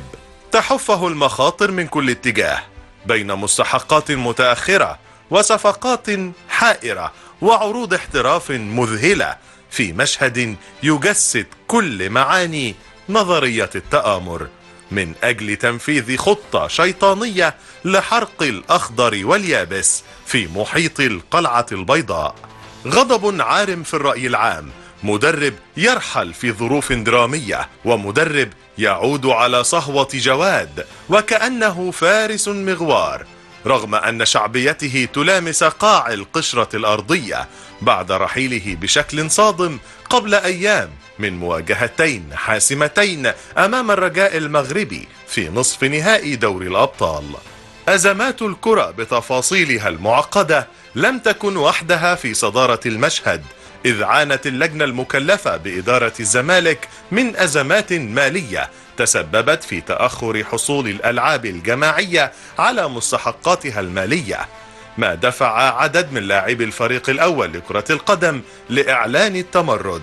ورفض خوض التدريبات قبل مواجهة وادي دجلة بالدوري الممتاز. ولم تتوقف الأزمات المالية عند فريق الكرة حيث امتدت المعاناة لكل الألعاب الجماعية وعلى رأسها كرة اليد. رغم ما يقدمه نجومها من إنجازات يشهد بها المنافس قبل المؤيد. لكن المستحقات المتأخرة بلغت رقما مذهلا وصل إلى عشرات الملايين. وفقا لتصريحات حسين زكي. بل واضطر بعض اللاعبين لبيع ممتلكاتهم للوفاء بالتزاماتهم المالية بين الانتقادات القاسية والتعاطف البالغ والشعور بثقل التركة لم تستسلم اللجنة ولم ترفع الراية البيضاء وتقرر حمل عصاها معلنة الهزيمة. أعلن رجالها التحدي وأكدوا قدرتهم على إعادة السفينة لمسارها الصحيح. ونسف مخطط الأرض المحروقة والسعي لحل أزمات القلعة البيضاء. الماتش يستضيف إبراهيم عبد الله عضو اللجنة التنفيذية بنادي الزمالك لإزاحة الستار عما دار في الكواليس خلال الفترة الماضية. وأسباب رحيل البرتغالي باتشيكو قبل أربع أيام من مواجهة الترجي التونسي بدوري أبطال إفريقيا. وسر التعاقدات التي أثارت الجدل في يناير وملابسات رحيل مصطفى محمد وغيرها من الملفات.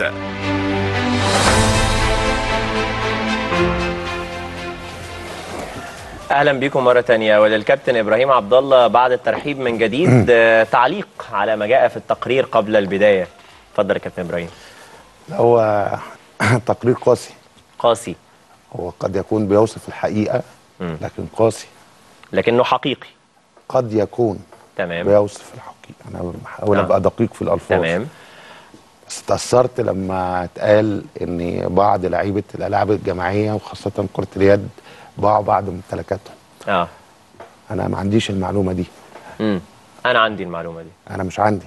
تمام. بس آه، أحزن. تحزن. أكيد.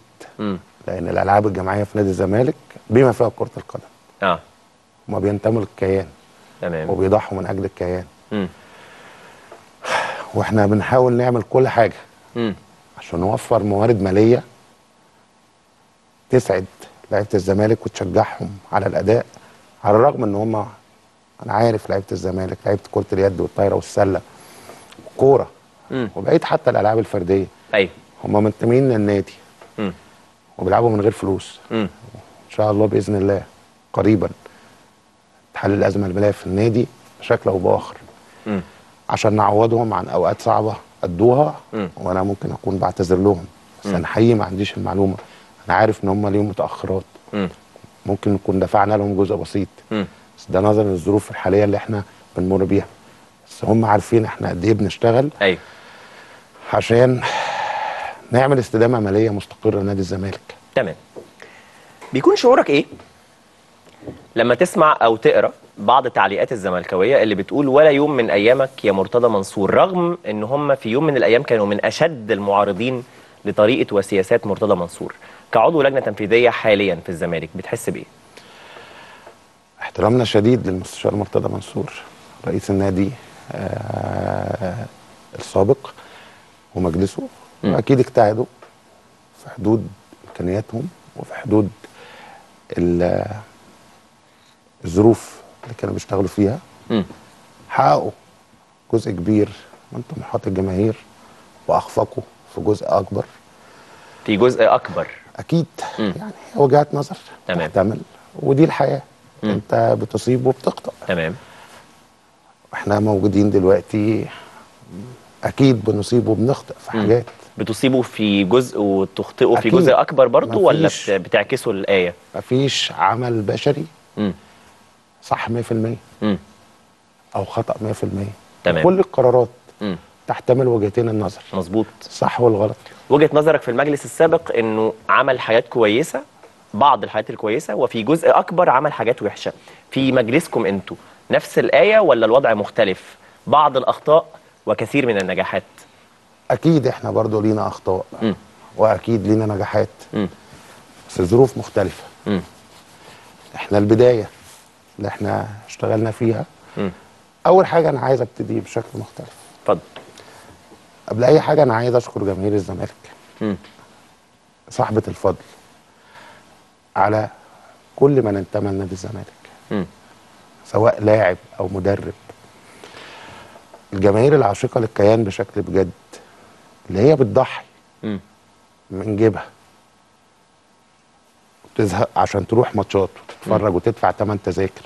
وحاليا تدفع برضو من جيبها عشان تتفرج على مباريات أفريقيا اللي هي مشفرة. مظبوط. وهي اللي واقفة داعمة للكيان وبتحبه بإخلاص بدون هدف غير حب الزمالك. دي أول ناس لازم أشكرها. عملتوا إيه لإسعاد الجماهير دي؟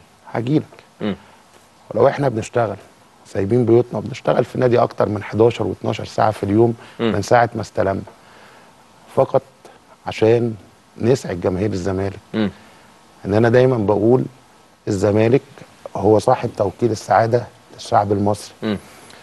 وإن شاء الله المقولة دي تفضل موجودة قبل أي حاجة بدعم جمهور الزمالك لناديها وأنا اتعلمت أنا موجود في النادي من زي ما قلت قبل كده من وأنا عندي 8 سنين أيوه عمري ما شفت جمهور الزمالك خذل نادي الزمالك في موقف. وما هتفش ضد النادي ولا هدف ضد لعيبته. في أحلك المواقف كان الجمهور هو اللي بيقف وبيدعم. وبرضه عايز أذكر اعضاء الجمعيه العمومية هو الممول الرئيسي مم. لنادي الزمالك ماديا. تمام. وده هيجي برضه في الكلام. مم. أشكره إن هو بيدفع عشان نغطي مصاريف كتيرة. مم. وأنا زي ما قلت لك هو الرئيسي. وعايز أذكر وزي- وزير الشباب والرياضة الدكتور أشرف صبحي. لأسباب كتيرة. إيه هي؟ ممكن نعرفها؟ هقول لأن جمهور الزمالك اللي أنت وجهت له الشكر أول حد هو يرى إنه ما فيه الزمالك حاليا سبب رئيسي فيه وزير الشباب والرياضة. طب أنا هقول لك قبل ما أخش في المنطقة دي لازم أقول وجهة نظري الشخصية. إن الدكتور أشرف صبحي خد تحديات كتيرة جدا. أهم تحدي تنظيم كأس العالم لكرة اليد. آه. اللي في الوقت اليابان وهي من الدول العظمى. رفضت أو لم تتحمل مسؤولية إقامة دورة أولمبية وكانت لأول مرة في التاريخ الحديث بعد عودة الدورات الأولمبية تؤجل آه بسبب آه وباء كورونا لكن أنت كدولة ممثله في الحكومة والدكتور أشرف صبحي شال على عاتقه تنظيم كأس عالم. أكبر كأس عالم فيه 32 دولة. ومصر كتبت كتالوج جديد مم. لتنظيم البطولات في زمن الجائحة. أنا مش هختلف معاك. دي حاجة مهمة. مهمة لكن أنا مش هختلف وأنا مش هختلف معاك. لك، لكن. الزملكاوي هيقول لك وأنا مالي. ما أنا لا ما أنا جاي. اتفضل. أنا همشي بعد خمس دقايق لا إحنا شوية معاك. بس عايزين نسأل في كل حاجة. أنا معاك. اتفضل. وجاي عشان أجاوب على أي سؤال. أكيد. الحاجة التانية برضو اللي أشكره فيها م. إن تحمل هجوم شديد. من جماهير الزمالك م. على الرغم إن هو طبق القانون وجمد مجلس سابق مم. لأن ظاهر الورق يكشف أن هناك بعض المخالفات المالية قد تصل لمرحلة الاعتداء على الملعب ده ظاهر الورق تمام هذا الورق يحقق من الجهات التحقيق. وما نقدر وإحنا مش عارفين مساره إيه. ولكن هو أصدر قرار متوافق مع صحيح القانون تمام وكان أول مرة فيها يحل مجلس إدارة نادي الزمالك بطريقة قانونية والدليل إن المجلس رفع السابق احترامي طبعا ليهم كلهم رفعوا العديد من القضايا وخسروها مم. لأن القرار قانوني مم. فأنا ما أقدرش ألوم وزير الشباب والرياضة هو زملكاوي. وهو ابن نادي الزمالك مم. إن هو خد قرار يتوافق مع صحيح القانون بعد أكتر من سنة فحص للدورة المستدنيه في نادي الزمالك م. وتراءى من ظاهر الأوراق زي ما قلتها إن هي فيها. مخالفات فخد القرار أيوه وتحمل الضغط الجماهيري مم. ومساند لنادي الزمالك وهو ساعدنا في حاجات كتير ممتاز أنا بس ممتاز، عايز هسأل في اكمل عشان. أوضح ما هي دي آه. التوضيح ليها مم. الدكتور أشرف صبحي لما بيساعد مجلس إدارة نادي الزمالك هو بصفته وزير الشباب والرياضة لمصر والجميع الأندية. تمام. هو بيساعدنا في إن إحنا ممكن نحصل بعض الأموال اللي كانت واقفة عن التحصيل. تمام. لكن هو لا يدير نادي الزمالك مم. ولا يساعده مجلس إدارة نادي الزمالك ولا رئيس مجلس إدارة نادي الزمالك. ومن يوم 27 11 وأنا موجود دكتور أشرف صبحي ما خدش أي قرار. يتعلق بإدارة شؤون النادي الداخلية ولا أنتوا رجعتوا له قبل اتخاذ أي قرار يتعلق بإدارة شؤون النادي الداخلية ولا إحنا رجعنا له في أي قرار تمام لأن القرار مم. إن هناك لجنة مم. برئاسه ناس محترمين السيد اللواء عماد عبد العزيز مم. السيد المستشار هشام إبراهيم. السيد اللواء سامي صبحي وكمل باللجنة التنفيذية وكان في فلسفة وهقولها لك برضو إيه بقى الكلام الكتير اللي اتقال على اللجان. اللي فيها أستاذ دكتور حسين السمري أيوه أستاذ دكتور يحيى مصطفى كمال حلمي وابراهيم عبد الله. ومعانا كمان المستشار المالي طارق حشيش اللجنة دي متطوعة ولا. يعني تحصل على راتب بالمناسبة لا طبعا إحنا هي مش متطوعة تمام. بالقانون تمام لا مم. هي مش بس متطوعة. آه هي مش هي بس بال- متطوعة. آه هي بالقانون مم. إحنا مجلس إدارة. تمام. ومجلس الإدارة لا يتقاضى اجرا. تمام. ده معروف. مم. فاحنا آه لا نتقاضى اجرا. تمام. عملنا في نادي الزمالك. بل بالعكس يعني في حاجات أنا ما بحبش أقولها يعني إحنا بنعملها. بتدفعوا أحيانا من لا جيبكم؟ مش أنا مفيش حد يقدر يمن على نادي الزمالك. آه. يعني ما حدش يقدر. مم. ومهما دفعنا إحنا بنسدد فضل نادي الزمالك علينا. أنا لما بقارن نفسي بصحابي اللي أنا متربي معاهم وكده ولو أنا وصلت للمستوى ده. مقابلهم الحاجة الوحيدة المختلفة غير تربية أهلي ليا الزمالك. إن أنا تواجدت في نادي الزمالك من وأنا صغير. اداني فرص كتير. ما بين آه، تنفيذ الدكتور أشرف صبحي كوزير شباب ورياضه للقانون بإيقاف المجلس الماضي وما بين ال... واللي قال وقتها لا مساس بكيان كبير كنادي الزمالك وإن إحنا مش هنسمح بوقوعه. وما بين كلمة يا جمهور الزمالك ما تزعلوش على الوضع الحالي بعد الخسارة من ماتش الترجي. إيه اللي قدمه وزير الشباب والرياضة من مساندة لنادي الزمالك؟ كل الدعم مم. زي ما قلت لحضرتك هو لم يصدر قرار لمجلس إدارة نادي الزمالك. ودايما إحنا اتقابلنا مع الوزير ثلاث مرات. تمام. في مناسبات. وإحنا اللي كنا طالبين اللقاء. فهو دايما بيقول أنتوا مجلس إدارة تقودوا النادي. إحنا كنا طالبينه عشان خاطر لما حصل الحجز على أموال النادي يتدخل لدى وزارة التضامن. وفعلا لبى الطلب وتدخل. خلاص. وكنا طالبينه كمان عشان آه نشوف الوضع بتاع ال- الح- الحجز على باقي حسابات البنوك من الضرايب. أيوه. وساعدنا. وكنا طالبينه كمان عشان أرض 6 أكتوبر ما تتسحبش من نادي الزمالك. وساعد فيها. أكيد. وطلبته يقعد معاه عشان فرجاني ساسي؟ لا. ما قعدش؟ ما طلبتوش؟ لا قعد لوحده؟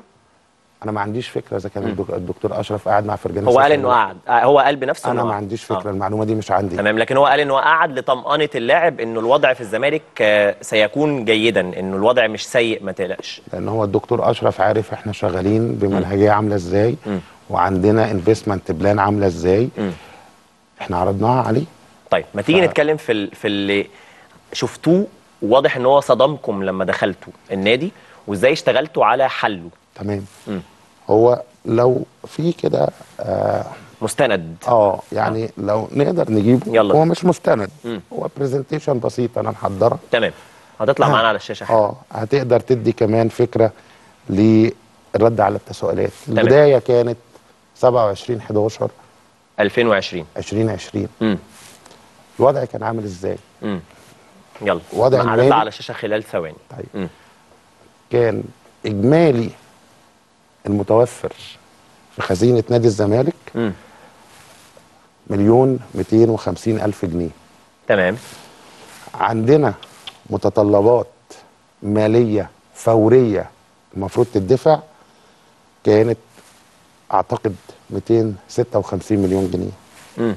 دي الأرقام المالية تمام تخيل أنت موجود كل اللي موجود في خزنتك بعد التسليم الرسمي من آه، الجهة الإدارية مم. للمجلس كانت لا ممكن يرجع ورا آه نرجع ورا شوية آه لو سمحت مم. كانت مليون 250 ودي مستندات رسمية في الدولة مم.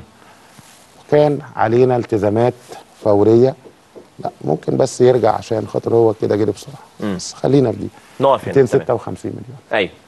كان عندنا تحديات تانية. تحديات كبيرة. أهم حاجة الحفاظ على كيان فريق الزمالك. تمام. كان عندنا تجديد لعقود لعيبة مهمة في الزمالك. مم. على رأسهم كابتن الفريق شيكابالا فتوح جنش أوباما وساسي في أربعة من الخمسة تجدد لهم بالفعل. تمام. وخامسهم لسه. صح. آه. اللعيبة دي كانت مع يناير مم. يقدروا يوقعوا لأي نادي تاني. مم. ولكن اللعيبة دي كانت منتمية للنادي. آه. وبتحب النادي. وصبروا على النادي. مم. ووقعوا للنادي. بأرقام غير مبالغ فيها. غير مبالغ فيها. أكيد. تمام. أكيد. ساسي. وأكمل لك اتفضل. بعد إذنك. وكمان ما خدوش مقدم العقود بتاعتهم. وبعضهم ما خدش مقدم عقده لغاية دلوقتي ما خدش جنيه من مقدم عقده كلهم ما خدوش مقدم عقدهم. وقت التوقيع كلهم الأربعة؟ ما خدش و... ولا واحد فيهم. خد تعريفة لما مضى. تمام. يبقى رقم واحد. هم لعيبة منتمين تمام. بيحبوا الكيان. ما تفاوضوش مع أي نادي تاني. مم. مضوا بعقود غير مبالغ فيها على الإطلاق. وكمان ما خدوش مقدمات عقودهم. ومنهم شيكابالا لغاية دلوقتي ما خدش ولا تعريفة. تمام. بعضهم خد أجزاء بسيطة من من مقدم العقود. ساسي مختلف عنهم في إيه؟ اساسي برضه لعيب محترف ومنتمي لنادي الزمالك. مم. بص ف اساسي لا يتفاوض مباشرة. تمام. هو بيتفاوض من خلال وكيله أيوة. وبنتواصل مع وكيله وصلتوا لإيه؟ لأنه خلاص الموسم نفسه إحنا بنقترب من نهايته. ليه إحنا في الم... في ال... إحنا لسه في الدور الأول. ناقص قد إيه يعني على الموسم؟ لا لسه الدور شاكب راكب كده دوري بكاس بافريقيا اللي إن شاء الله الزمالك يكمل فيها. بإذن الله هنكمل. كام؟ معاك خمس. أشهر مثلا تمام؟ ماشي. خمس أشهر يعني قرب يخلص. طيب يعني إحنا لسه أيوة. مش الموسم مش قرب ينتهي. وصلتوا لإيه في التفاوض مع اساسي واصلين لمراحل اللي أنا أقدر أقوله. أيوه. كل حاجة مجلس إدارة نادي الزمالك الحالي مم. بيشتغل بشفافية. وبنصدر بيانات. أيوه.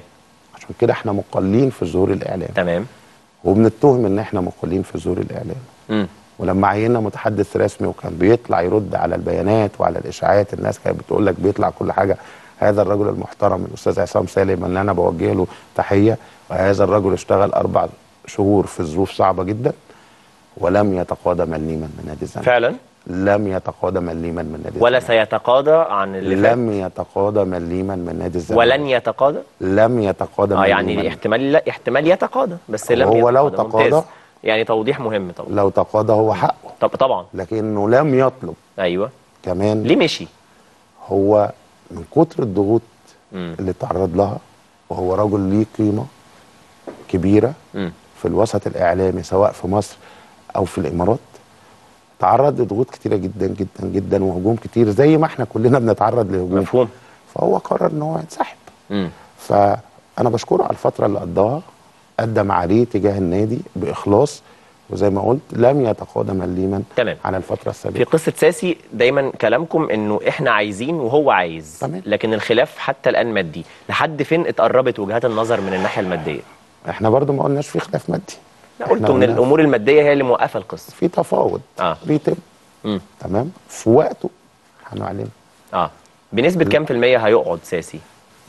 والله يعني إن شاء الله رغبة الطرفين هتلتقي. لكن تأكدتم إنه ما وقعش النادي تاني بما إنه يحق ليه في أي لحظة إنه يوقع؟ هو يحق ليه من 1 يناير انه. يوقع. بس هو الآن لم يوقع. إلى الآن لم يوقع. أكيد. وإلى الآن. بيتفاوض. معاكم. ساسي لم يتفاوض مع نادي الزمالك مباشرة. اي وكيله. وكيله مم. هو اللي بيتفاوض. بس. متفائل إنه هيكمل؟ ساسي لعيب مهم في الزمالك. مم. ونتمنى إن هو يكون موجود. أكتر من من منتمي للزمالك سواء لاعب سابق أو محلل اتكلم في إن الفروقات الكبيرة ما بين مرتبات اللاعبين ممكن تعمل خلل جوه الفريق أو مشاكل. هل دي رؤيتكم أنتوا كمان كمجلس إدارة كابتن إبراهيم؟ هي أي فروقات في أي فرقة. أو أي مؤسسة بتؤدي لنوع من الغيرة الغير صحيه امم ودي كانت واحدة من التحديات اللي موجودة عندنا. امم إحنا كان في تحديات تانية بس هم هنكمل حالا. السكرين. آه. وإحنا بنشتغل عليها. امم والزمالك خد مجلس إدارة نادي الزمالك دلوقتي ويعلم قيمة الزمالك.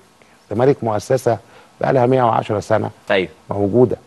لما مؤسسة تعيش 110 سنة يبقى ليها تراث وثقافة هي وأسس قوية اتبنت عليها هي اللي تخليها.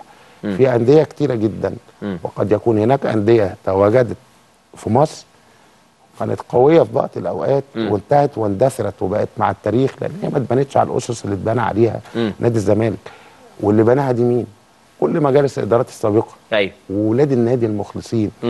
اللي رفعوا اسم الزمالك وعلوا شعبيته وجماهيريته مش بس في مصر في مصر والوطن العربي وكمان أفريقيا. آه. فده نادي الزمالك. وإحنا عارفين قد إيه قيمة نادي الزمالك. وبما إن نادي الزمالك هو الرائد فدايما وأنا قلتها قبل كده بياخد الخطوة. امم وساعدنا فيها لعيبة الزمالك. امم إن إحنا نعمل تصحيح للسوق. حصل inflation في أسعار اللاعبين في مصر. انفليشن ده يعني الدنيا هربت تضخم. تضخم أكيد آه. يعني أنت كنت ماشي في معدلات وفجأة في خلال السنتين اللي فاتوا معدلات اللعيبة سمعنا أرقام ولعيبة تخطت ال 150 مليون في سوق الانتقال للعيب الواحد وصلت عقود 40 مليون و50 مليون طب قدرة اللعيب قدرة الأندية مم. على الاستمرارية دي عاملة إزاي فكان تفكيرنا في مجلس الإدارة وأنا بقول تاني ساعدنا فيه لعيبة نادي الزمالك اللي وقعوا وجددوا إحنا مش يهمنا بس. تصحيح السوق لا اللي بيدير نادي الزمالك دلوقتي رجال دولة. ومكلفين من الدولة للحفاظ على نادي الزمالك وكيان نادي الزمالك مش لهدم نادي الزمالك مم. وكمان إحنا مش لجنة العار إحنا بالعكس لجنة محترمة بتدير بإخلاص للحفاظ على نادي الزمالك وفي دماغنا الحفاظ على صناعة الرياضة مم. وصناعة كرة القدم. مم. من الانهيار. وانت بتقول كلمة إحنا مش لجنة العار ده واضح إن في مرارة جواك من إنك بتسمع ده من زملكاوية. آه ليه شايفهم أو ليه تتوقع ممكن يكون جمهور أو بعض جمهور الزمالك بيص... بي... بيهاجمكم بالشكل ده؟ أنا عايز أقول لحضرتك حاجة. مم. جمهور الزمالك ما بيهاجمش. أنا عايز أفرق ما بين السوشيال ميديا واللي هي فيها لجان إلكترونية وده وضع حقيقي محدش يقدر ينكره. وهي قد تقود في بعض الحالات. أو تع- بتعرف تأجج. مشاعر الجماهير ودي حاجة خطيرة جدا.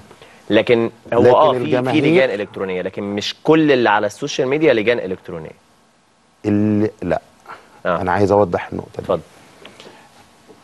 اللي بيقود حملات الهجوم مش جماهير الزمالك مم. وأنا واحد من جماهير الزمالك أخويا من جماهير الزمالك حضرتك واحد من جمهور الزمالك لكنك بتدير الزمالك صح. فبالتالي مش هتهاجم نفسك لا ما أنا لا أنا ممكن ها لما بناخد قرار خطا آه بنتكلم مع بعض فيه وإحنا غلطنا في حاجة زي كده مم. لكن اللي أنا عايز أقوله لك تأجيج مشاعر الجماهير واللعب على وتر. الجماهير بيقودوا الكتائب الإلكترونية وده حقيقة أنا يوم الخميس مم. إذ فجأة. أيوه. أنا الفيسبوك بتاعي private آه. وعليه كل كل أصدقائي وإخواتي واولادي كلنا على بعض 450 واحد. آه. جالي في خلال ثلاث ساعات أكتر من 750 مم. طلب صداقة friend request تمام. وكلهم كلهم دخلوا على ال profile بتاعي أنا مش عارف إزاي وابتدوا يشتموا في فيا وفي ولادي. وكلهم. من خارج القاهرة وكلهم كانوا حاطين ال profile pictures بتاعتهم آه، علم الزمالك. لا. صورتك؟ لا تيشيرت شيكابالا أو علم الزمالك. آه. فده أكيد يعني fake accounts آه. دخلت deleted حسابات مزيفة. حي... آه أكيد حسابات مم. مزيفة طبعا. والناس دي هي اللي بتقود حملات التشهير اللي بتحصل لينا. وهناك بعض المدفوعين مم. لأسباب أخرى. هسميها بقى الأسباب الأخرى. نيران صديقة. زي ما مين؟ أعرفهاش. مين ممكن يكون من المنتمين للزمالك غرضه الواضح هو لا التشهير أنا ما قلتش منتمين للزمالك. ما بتقول نيران صديقة؟ نيران صديقة. لكن مش يعني اللي ينتمي للزمالك عمره ما يكشف عيوب الزمالك حتى لو فيها عيوب. هل المجلس السابق ليه يد في هذه الحملات؟ ما أعرفش. ما أقدرش أقول. أنا ما بحبش أوجه اتهام لحد وأنت مش متأكد بدون. دليل. طيب آه طيب خ... لكن سيبك من هناك ال... أشخاص. آه. آه. إحنا قدمنا فيهم بلاغات للنائب العام. قدمتوا بلاغات على طول مباشرة. آه. إن هم بيكونوا هم اللي بيمولوا الحملات؟ لا هم ناس تطاولوا على مجلس إدارة المحترم وعلى أعضاء المجلس. مم. إحنا قدمنا فيهم بلاغات للنائب العام. مين؟ آه، لا ناس هم. آه ناس عادية آه اكونتات يعني حسابات. آه حسابات بس آه. دي حسابات. منهم حد كان طالع عامل فيديو. آه طيب. قدمنا فيه بلاغ. سيبك من الناس آه. اللي بيغلطوا فهنا بقى عايز أفرق بقى أيوه ما بين حاجتين. أيوه اتفضل. ما بين جمهور الزمالك. اللي بيعبر عن غضبه طول عمره خلال ال 110 سنة دي كان جمهور الزمالك في لحظات بيعبر عن غضبه بطريقة مهذبه والفرق ما بين السوشيال ميديا وما يقودها من آه fake fake accounts أو آه كتائب إلكترونية. مغرضة للتشهير بنادي الزمالك. لأغراض كتيرة جدا. وإحنا متعرضين لها دلوقتي. تمام. لكن ده لن يحبطنا أيوه. ولن ييأسنا لأن إحنا الهدف واضح. هدف قدامنا واضح. فكرت في الاستقالة قبل كده؟ لا اللي بيفكر في الاستقالة ده بيبقى ضعيف. اللواء عماد عبد العزيز قال أنا فكرنا قال إحنا فكرنا في الاستقالة بس مسؤوليتنا هي اللي خلتنا نكمل. إحنا لا آه، نبحث عن مصالح أنا برضو مس... أنا أنا ما سمعتش اللي هو عماد. عبد العزيز قال كده وأنا معاه كل يوم بس. أنا شخصيا ما هو سمعتهاش قالها في المؤتمر الصحفي يوم الخميس. أنا ما حضرتش المؤتمر الصحفي عشان كده ما ليه ما. حضرتش بالمناسبة؟ كنت مشغول. تمام. عندي حاجات عندي شغل. كنت شغل أنا كنت موجود في النادي بس آه. مشغول بحاجة مهمة للنادي. ما فكرتش في الاستقالة؟ هنتكلم عنها طبعا. لا أنا ما فكرتش في الاستقالة. مم. أنا بتعرض لضغوط بس ما فكرتش في الاستقالة. آه. ليه؟ أنا متربي في نادي الزمالك من وأنا عندي 8 سنين. ويعني يمكن أنا جات لي فرصة أنا ما سعيتش اليها لكن خلاص أنا تواجدت في موضع مسؤولية. هكملها لغاية الآخر. لغاية لما نسلم النادي. إن شاء الله بإذن الله عنده استدامة أيوه. مالية شاملة ثابتة. بتعملوا إيه بقى عشان تحققوا الاستدامة المالية الشاملة دي؟ حاجات كتيرة. لأن الوضع المالي حتى الآن غير مرضي أكيد صح؟ حتى الآن. أكيد. إيه بقى اللي بتعملوه عشان الوضع يبقى فيه استدامة مالية؟ بقى يلا بينا. آه. هنستعرض ال- ال- الحلول اللي أنتوا بتحطوها يعني الفترة دي. قدامها قد إيه عشان تتنفذ بالمناسبة؟ إحنا ما عندناش رفاهية الوقت فما أقدرش بقى اتفلسف واقول لك ان إحنا عندنا short term plan و medium term plan و long term plan انت عايز دلوقتي. إحنا شغالين مم. ب immediate action. خلاص فهمنا الوضع درسناه وحطينا حلول. طيب إيه إيه إيه, إيه أي مستند تحديدا ال- الحلول اللي عايزين ال presentations ال presentation دي. نكمل آه. بعد إذنكم زمايلي الأعزاء العرض اللي كان قدامنا. آه سريعا علشان آه نستعرض النقاط. أهي اتفضل. تطوير مصادر الدخل والاستدامة المالية. تمام. أنا عايز بس أروح قبل دي مم. عشان أقول لك إيه هي أسباب الأزمة المالية. مم. فعايز أروح ل هي مصادر الدخل نادي الزمالك في إيه؟ مم. إحنا عندنا ثلاث مصادر رئيسيين أهي. آه.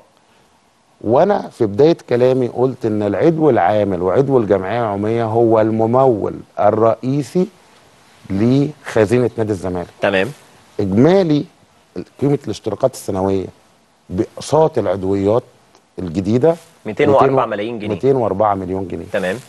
ده للسنة المالية كاملة اللي هي بتبتدي من 1 7 أيوه. لغاية 31 ستة. ل 30 6 تمام. شهر 6 30 بص 30 معانا. يوم معلش آه. أنا زودت يوم من عندي. طيب. بحب الشهر ده. حاضر. وبعديها عندنا تاني مصدر هو عقد الرعاية آه. مع شركة برزنتيشن. وأنا لازم أوجه لبرزنتيشن تحية كبيرة. فعلا؟ إن هم من أكتر الناس اللي كانوا واقفين جنبنا وداعميننا في الفترة اللي فاتت. إن هم سهلوا منحكم مستحقاتكم المتأخرة. آه. تمام. خلاص؟ ناقص لكم قد إيه من العقد بتاع آه،؟ كل ده جاي. تمام. 121 مليون جنيه. ده عن الموسم الرياضي 20 21 تمام. بيبتدي من شهر 10 مم. وبعدين عندنا المتبقي من إيجار محلات النادي بس معلش الرقم ده غلط. آه مش هو- 15 مليون. لا 49 مليون. 49 مليون. ده آه. المتبقي. آه. تمام. فالإجمالي هيكون تقريبا 340 40 مليون. مليون. تقريبا مره ولا 340 م- لا آه 340 مليون. تمام. ده إجمالي دخل نادي الزمالك مم. عن السنة الواحدة الواحدة المالية مم. فالممول الرئيسي لنادي الزمالك الاشتراكات أعضاء الجمعيه العمومية مم. خلاص طيب التطوير بقى طب لا قبل التطوير مم. إحنا يوم 27 11 لما استلمنا لما قلنا النادي كان فيه مليون 250 مم. طب كان المفروض نروح نحصل بقى تمام 360 مليون دول أو آه، 340 و40. مليون دول مم. كان تم تحصيل 184 مليون جنيه هي قيمة الاشتراكات. من الإجمالي 204 فكان متبقي 19 مليون. وكان متاخد من قيمة عقد برزنتيشن اللي هو آه 61 مليون أيوة. 121 مليون كان متاخد قبل ما إحنا نيجي 60 مليون فكان متبقي لينا 61 مليون تمام فدول يبقوا ده كده المتبقي لحد 80. شهر 6 اللي جاي آه تمام. وال 19 مليون دول من يوم 30 من 1 12 تمام. لغاية 30 30 7 آه سوري 30 6 مم. 19 مليون يبقى كده انت بتتكلم في 2 ادي 80 مم. وفاضل لنا 49 مليون ده باقي المحلات تمام. اللي ابتدينا نحصل فيها فيبقى الإجمالي 129 مليون مم. إحنا كان مطلوب مننا يوم ما جينا ندفع كام كام 256 مليون مم. ده التزامات فورية عارف تمثل إيه مم. لو كملت بقى بكام؟ 152 مليون جنيه متأخرات لفريق كرة القدم آه 15 مليون جنيه متأخرات لفريق كرة اليد مم. 10 مليون جنيه متأخرات لفريق كرة السلة مم. تقريبا 17 مليون جنيه متأخرات لفريق الطايرة. اهي 152 مليون جنيه فريق الكورة لفريق الكورة. ده إحنا سددنا منهم آه الفريق الأول كرة اليد 15 مليون جنيه مم. فريق الطايرة 12 مليون جنيه مم. السلة 10 مليون السلة جنيه. 10 مليون السباحة كان ليها 250 ألف وال... آه 250 آه وبقية الألعاب هتلاقي كمان في حدود ال 5 مليون ما بين. الكاراتيه إحنا تمام. عندنا 18 لعبة في النادي مم. خلاص مم. فلما تجمع ده هتلاقيهم 256 مليون صرفتوا منهم قد إيه؟ بما إنهم كانوا محتاجينهم فوريا. طب ما أنا كان اللي في إيدي كام بقى؟ المفروض اللي إحنا هيغطينا لغاية آخر السنة مليون وربع باين. 106 لا اللي كان متوفر. في الخزنة تمام. مليون وربع. مليون وربع. وأنا قلت لك إجمالي دخل النادي كله على بعضه 360 مليون. و40 مليون. 340 مليون. مظبوط. المتبقي منهم عشان كانت تاخد من يوم 1 6 تحصيل الاشتراكات آه. لغاية 30 11 ممسكة. 184 مليون آه. فكان متبقي لي من ال 204 19 مليون. عقد الرعاية أبو 121 مليون كان متاخد منه 60 ففاضل لي 60 يبقى اللي كده معايا 80 زائد 49 ففي الآخر تقريبا 104 مليون أو سوري 106 129 مليون. مم. ده الإجمالي تمام. لغاية السنة. وأنا مطلوب فورا أدفع 256 مليون. كلها إيه؟ التزامات للألعاب الرياضية من غير كمان مرتبات مم. الأجهزة الفنية طيب. ولا أجور عمال وموظفين ده كان الموقف عملتوا. إيه ساعتها حليتوا ده إزاي سريعا عشان نروح لمصادر التطوير اللي أنتوا عايزين تزودوا. اشتغلنا آه. وزي ما قلت لحضرتك الدكتور أشرف ساعدنا. ان إحنا قدرنا نحصل بعض المتأخرات كانت موجودة عند البنك الأهلي ساعدنا وبرضه أحب أشكر البنك الأهلي على دعمه. بنك مصر ساعدنا. أيوه. بعنا إعلانات على سطح محل أو فرع البنك الأهلي في نادي الزمالك كان الشاسيه بيتباع ب 175 ألف سنة. مم. إحنا بعنا شاسيه بأكبر من كده بكتير. مم. كان حوالي 16 مليون في ست سنين. وكذلك في بنك مصر عملنا معاهم عقد اعلاني على أحد الفروع تمام. بحوالي 9 مليون و400 مم. آه ودي كانت حاجات مستعجلة عايزين نجيبها. آه الوزارة دعمتنا ب 5 مليون جنيه عشان نرفع الحجز. تمام. عشان نقدر نكمل. وحطينا خطة استثمارية. الخطه الاستثماريه ديت كانت مهمة جدا. رقم واحد إن إحنا بدأنا في تنفيذ مشروع نادي الزمالك بأكتوبر واستاد الزمالك. أيوه وده تكلفته حوالي مليار ونص. مضينا بروتوكول مع وزارة الإنتاج الحربي. مم. البروتوكول ده مع شركة الإنتاج الحربي للإنشاءات والاستثمار هم هيمولونا. هو بنظام بي أو تي هم اللي هيدفعوا. تمام. إحنا هنوبريت إحنا هم هيمولوا ويبنوا وإحنا هنوبريت تمام. نادي ملك لينا تماما وعلينا رقم اشتراك العضوية من 60000 جنيه ل 220000 جنيه. مم. متوقع إن إحنا إحنا هنفتح باب العضوية 6 أكتوبر مم. 220000 أول دفعة 3 3000 عضو. تمام. ما بقول إحنا بدأنا لأن إحنا في المرحلة الأخيرة. إحنا هيتعرض علينا الأسبوع الجاي. ال design ال final design بتاع النادي هيعتمد من اللجنة الهندسية ومجلس الإدارة. هنبدأ البناء على طول. وده هيجيب دي لنا كلها من شأنها إن هي توفر لكم آه. موارد آه، ده مالية هيوفر جيدة. موارد فورية. طيب. عندنا حاجة اتفضل. اللي فكرنا فيها وهي مهمة جدا. مم. إحنا بدأنا مرحلة تنفيذ شركة الزمالك لكرة القدم. مم. بدأتوا. أكيد. خدتوا كل الموافقات. إحنا ما أنا لما هقول لحضرتك بدأنا يعني إيه؟ يعني إحنا بتاخدوا بدأنا يعني إحنا رحنا الأول. أيوه. فكرنا وقلنا نادي الزمالك إزاي تقدر تستفيد باسمه وحجمه. وجماهيريته الكبيرة. تمام. فاحنا قلنا ان إحنا الأول هنتكلم مع مستثمرين. اتكلمنا مع ثلاث مستثمرين كبار مين هم يعني ما اسمح لي ان هي إحنا في. مرحلة آه تمام. confidentiality فمش هقدر أقول أسامي. بس هم من اكبر بيوت الاستثمار في مصر تمام هيخشوا معانا مساهمين رئيسيين مم. 10% لكل واحد تمام إجمالي الفلوس اللي هيدفعها لنا من مجرد التوقيع 600 مليون؟ 600 مليون تمام. مظبوط. نادي الزمالك هيمتلك في الشركة دي 51% تمام. عشان يكون ليه الحصة الحاكمة. إحنا مش هندفع فيها فلوس. داخلين بالاسس بتاعتنا. باسم الزمالك وبممتلكاته. not only قطاع الكورة كله. الفريق الأول. تمام. قطاع الناشئين المدارس والأكاديميات. مم. هنطرح 20% في البورصة لجماهير الزمالك. تشتري سهم. شركة الزمالك لكرة القدم. ده إمتى الحاجات دي تطبق؟ إحنا إمتى تاخدوا 600 مليون؟ بمجرد توقيع العقود. إمتى متوقع ده؟ إحنا في مرحلة الأوديت دلوقتي. الإيه؟ المراجعة ال- ال audit. مراجعة. آه المراجعة على ال assets التقييم إحنا عندنا حاجتين بيتقيموا آه. ال market value بتاعت لعيبة الزمالك. القيمه التسويقيه القيمه التسويقيه بتاعتها. مم. هي تفوق المليار ونص مم. حسب كتير من المصادر. مم. هم بيراجعوا على الحاجات دي دلوقتي واللي بيراجع مكتب محاسبة معتمد مم. من Big Four ويتم نخلص المراجعة. إن شاء الله بإذن الله هيكون هنعرض الكلام ده على الجهة الإدارية مم. عشان الموافقة النهائية وفقا للقانون. تمام. هنمضي العقود هناخد الفلوس الكلام ده بقى تقريبا؟ ممكن تقريبا إن شاء الله بإذن الله. في خلال شهر شهر ونص بالكتير. مم.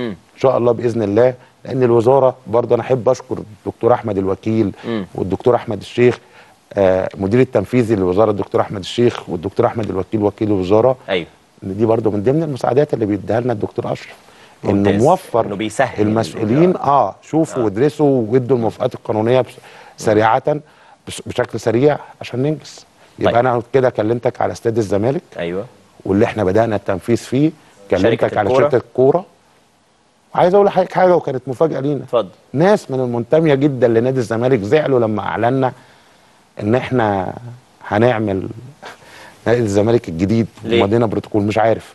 وناس كتيرة برضو قال لك أنتوا ليه تعملوا شركة كرة القدم دلوقتي بقى؟ أنتوا إزاي تعملوا long term commitment آه. هو عادي من حقكم لأن أنتوا مجلس أكيد إحنا إدارة مجلس إدارة. زي ما قلت. آه. طيب بمناسبة المنتمين لسه. اتفضل. كمل لك كمان. قبل الفاصل. إحنا كمان عملنا حاجة جديدة. إحنا نادي الزمالك مش محتاج تبرعات. بس لو تفكرت كويس وابتديت تحط أساس علمي لاستدامه مالية كويسة هتقدر تحط مشاريع ضخمة زي أنا بكلمك. ومشاريع متوسطة. إحنا عملنا mobile application mobile application آه. ده خلاص رسمي استقريتوا على الشركة ولا لسه هتطرحوا الموضوع؟ لا المناقصة طرحت. طرحت. آه, آه. وإن شاء الله بإذن الله قبل نهاية رمضان تمام هيكون. ال application. متاح زي ما قدامنا على الشاشة آه ده شكل ال application كل زملكاوي. هيقدر يخش على ال App Store بتاع الموبايل اللي تمام. معاه سواء كان Android أو iOS تمام ينزل application جماهير الزمالك آه ده للأعضاء والجماهير ولا لا للجماهير إحنا فقط عندنا اتنين application. ده للجماهير الزمالك في آه. أي حتة في بيوفر العالم لهم إيه للجماهير ده بيوفر لهم محتوى جديد آه محتوى خبري مم. ومحتوى رقمي فيديو تمام. فيديوهات بس ملهاش أي علاقة بالحقوق الحصرية مم. لشركة برزنتيشن اللي أنا مش بعتبرها مورد لخدمة الإعلانات أو الرعاية في نادي الزمالك لا ده شريك استراتيجي لنادي الزمالك مم. ودايما واحب اشكر أستاذ زكي عبد الحميد مم. بصراحة دايما موجود معانا. وأحمد وجيه كمان طبعا يعني دعمنا جامد في الفترة اللي فاتت. موبايل دوت هيدي لك أخبار فورية على ما يحدث من نادي الزمالك. تمام. جميع الألعاب وده واحدة من الحاجات اللي هتزود ال loyalty والانتماء مم. للشباب لجماهير الزمالك. وحاجة تانية بتقتل بيه كمان كم الإشاعات لأن هتطلع الأخبار من مصادر موثوقة جوه. نادي الزمالك. والفيديوهات إحنا كمان عارفين ال target audience بتاعنا في ده مين؟ الجمهور المستهدف. الجمهور المستهدف لده مين. جماهير الشابة. آه. اللي هي إحنا عارفين ان دلوقتي في تحول مم. في استخدام ال technology وإحنا في transformation كبيرة. الناس دلوقتي عايزة الحاجات السريعة. أيوه صح.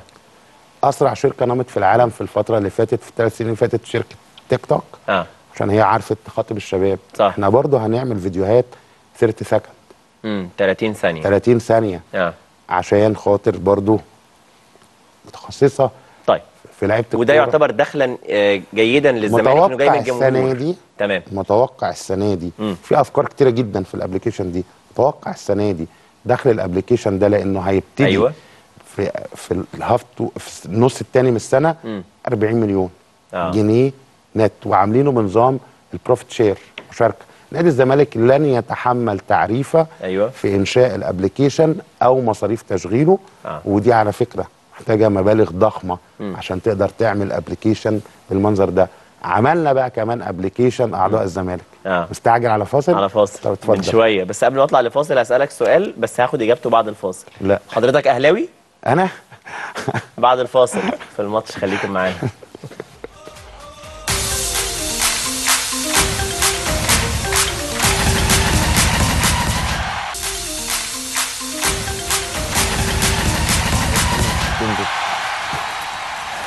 أهلا بيكم مرة تانية في الماتش. لسه منورنا الكابتن إبراهيم عبد الله عضو اللجنه التنفيذيه في نادي الزمالك. آه، اللي جمهوره مهتم يعرف تفاصيل كتيرة عن فريق الكرة تحديدا والكابتن إبراهيم عبد الله كالعادة سيجيب عنها أعتقد بوضوح شديد. منورنا يا كابتن إبراهيم. كابتن هاني. آه، قبل الفاصل مش سألت. جمهور ده جمهور الزمالك. أيوه. قبل الفاصل سألتك حضرتك أهلاوي؟ قرأتها في أكتر من صفحة في أكتر من رأي من مشجعي الزمالك. حاجة تضحك. بصراحة ما عنديش إجابة. يعني أنا راجل أفتخر آه. إن أنا متواجد في نادي الزمالك من وأنا عندي 8 سنين. آه. يعني أنا ساكن جنب نادي الزمالك أصلا. امم ونادي الزمالك ليه فضل عليا. ف- آه.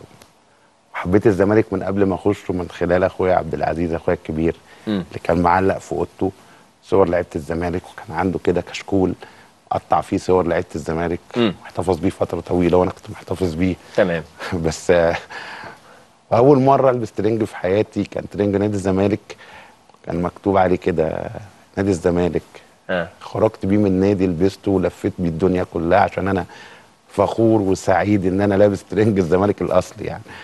فدي حاجة من السخافات يعني أنا مش عايز أرد على حاجة زي كده بس حاجة سخيفة يعني. ما أعرفش مين اللي قالها. آه. بس يلا عادي إحنا قابلنا سخافات كتير الفترة اللي فاتت. صح. ليه ما عملتوش آه، صفقات في بداية الموسم؟ رغم إن المجلس اللي قبليكم كان بالفعل مخلص تعاقدات مع عدد من اللاعبين. طيب قبل ما أقول لك وارد على السؤال دوت أنا كنت عايز أكمل حاجة تاني. إحنا عملنا ابلكيشن لأن التطوير بس مش تطوير مالي كمان. مم. إحنا تطوير automation نادي الزمالك مؤسسة كبيرة. عندهاش غير system واحد بس هو system الاشتراكات. إحنا ما عندناش system مالي وإلى الآن نادي الزمالك بيدير حساباته دي كلها ب Excel sheet و manual. تمام. فعملنا automation في المنطقة دي. عملنا حاجة كمان عشان نسهل على العضو. مضينا مع بنك مصر عقد sorry مضينا مع البنك الأهلي مم. عقد مهم جدا اسمه أعضاء الزمالك. برضو mobile application زي ده بس مختلف. تمام. ده لأعضاء الزمالك. عشان تزيد الاشتراكات. تقدر تسدد بيه الاشتراكات. تقدر تسدد بيه أي التزامات مالية للنادي اشتراكات الأكاديميات. كمان حاجة كمان خدمة عملناها للعضو إن أنت تقدر تدفع من عند فواتير الكهرباء وفواتير المية ومخالفات المرور كل حاجة. تمام. دي برضو إحنا عملناها ممتاز. للأعضاء. على فكرة مم. ده هيشتغل بإذن الله بعد 10 أيام من النهارده. طيب حلو جدا. حاجة ليه ما عملتوش كمان. صفقات هقول لك عليه ليه ما عملتوش صفقات هقول لك ليه ليه ما عملتوش صفقات بس دي مهمة الأول أنا معلش ليه ما. عملتوش صفقات ده سؤالي ده أنا بسأله لأن إحنا عندنا فرقة. قوامها محترم مم. وما طلبش مننا في بداية الموسم إن إحنا نعمل صفقات إحنا اتطلب مننا في موسم الانتقالات الشتوية مم. إحنا كمان حاجة مهمة إحنا جينا بعد ما موسم الانتقالات الصيفي كان انتهى. كان قرب ينتهي. تقريبا كان فاضل آه. فيه قد إيه؟ أيام. طيب حضرتك إحنا فاضل لنا أيام. مم. وموسم الانتقالات ينتهي. مم. الصيفي الميركاتو الصيفي زي ما. بيقولوا هيقفل. وأنا عندي كل التحديات دي. مم. وعندي فرقة مستقرة. المدير الفني ما طلبش مننا. مم. هنتبرع ونروح نشتري لعيبة ليه؟ وأزود أعباء مالية ليه؟ علما إن الفرقة مستقرة. مم. ليه ليه لكن ليه لما اتطلب آه. مننا في موسم الانتقالات الشتوي مم. تدعيم الفرقة بمهاجم إحنا جبنا اتنين مهاجمين. اللي طلبهم مستر باتشيكو. طلبهم بالاسم. مستر باتشيكو إحنا قعدنا كمجلس إدارة مع باتشيكو ثلاث مرات. آه. أول مرة كان في وجود الكابتن أيمن يونس كان موجود معانا. أحب اوجه له الشكر على المجهود اللي عمله في الفترة اللي كان موجود فيها. طبعا. كان موجود بس فيها. هو ماشي متضايق. قال إنه ما كانش عارف يشتغل. أنا مش عارف. مم. أيمن هو كابتني كمان يعني. أعرفه النادي من زمان. وكان بيشتغل بجهد وباخلاص أيوه بس هو حس إن هو حب أكمل الفترة. هو هو أيمن لما أكمل فترة ومشي ما جددش. آه. خلصت المهمة اللي كان هو من أول يوم بصراحة مم. هو كان بيقول أنا قاعد فترة عشان عنده شغل وبيته. تمام. وأيمن أدى الفترة دي بمنتهى الأمانة وبمنتهى الإخلاص وبرضه أحب أشكره. باتشيكو طلب بدائل مهاجمين. آه هقول لك. قعدت ثلاث مرات معاه. ثلاث مرات. مرة في وجود الكابتن أيمن مم. كان الكابتن أشرف قاسم. بحب أشكره برضو على المجهود اللي عمله في الفترة اللي اداها وهو ابن مخلص للنادي. والكابتن عبد الحليم مدير الكورة برضو أحب أشكره جدا على الفترة اللي قضاها. وكانت الفترة دي تع... هي أول لقاء كان تعارف تمام. بين مستر باتشيكو والجهاز الفني. ومجلس الاداره المرة الثانية اللي قعدنا فيها مع مستر باتشيكو كانت بعد ماتش المحلة. آه بعد الخسارة. بعد الخسارة من ماتش المحلة. طلبنا نقعد معاه عشان نسأله أنت عندك مشاكل إيه؟ هل أنت مش مستريح في الجهاز الفني اللي معاك؟ هل أنت مش مستريح مع عبد الحليم وأشرف؟ والراجل قال لك لا أنا مستريح وكل حاجة تمام وما عنديش مشاكل مم. وأنا اللي أتحمل الخسارة واللعيبة بتاعتي رجاله تمام. وأنا احترمته لما دافع عن لعيبته. بس دي كانت القعدة. كانت أقل من والقعدة. الثالثه القعدة الثالثه قعدة الإقالة؟ لا آه. أقول لك. القعدة الثالثه كانت يوم 28 يناير. آه. أو قبلها بيوم. تمام. حاجة زي كده. لما كان عايز يجيب مهاجم. وهو طلب إنه يجيب مهاجم بعد ما وافق على رحيل مصطفى محمد. هو اللي وافق. هو كتب ورقة. الي في الورقة. الورقة دي قال فنيا أرى إن مصطفى محمد مفيد وجوده لنادي الزمالك. لكن لا أستطيع الوقوف ضد رغبة اللاعب الشديدة في الاحتراف. وأحترم رغبة الإدارة. وأح... لا. مم. وأحترم رغبة اللاعب في الاحتراف. تمام. وأترك الأمر لمجلس الإدارة آه. فيما تراه فيه منفعة لنادي الزمالك. فمشي مصطفى محمد. فمشي مصطفى. طيب. البدائل هو اللي اختارهم اختار سيف ومروان. هو حط خمس أسامي. تمام. وطلب منهم واحد أي حد منهم. ومن الخمسة دول كان سيف ومروان؟ أكيد كان رقم ثلاثة أنا معلش مش هقدر أقول الأسامي التانية لأن هم تمام. بيلعبوا في أندية أخرى. أتمنى لهم التوفيق. سيف كان رقم ثلاثة سيف كان رقم ثلاثة آه sorry آه مروان حمدي مروان رقم ثلاثة. ورقم أربعة سيف؟ لا. خمسة؟ لا. أنا هقول لك. في القعدة دي سيادة اللواء عماد عبد العزيز سأله أنت آه عايز واحد ولا اتنين مم. قال له أنا عايز واحد قال له لو جبنا لك اتنين قال يبقى سوبر مم. بس كان سيف الجزيري واحد برضه مطلب جماهيري اتعرض على نادي الزمالك ونادي الزمالك سأل جهاز سأل الفني مين؟ باتشيكو قال له عايز باتشيكو آه عايز قال له قال إحنا باتشيكو كمان عايز سيف بعد ما وصلنا لتفاوض. مع سيف الجزيري مجلس وصل في التفاوض مع سيف الجزيري.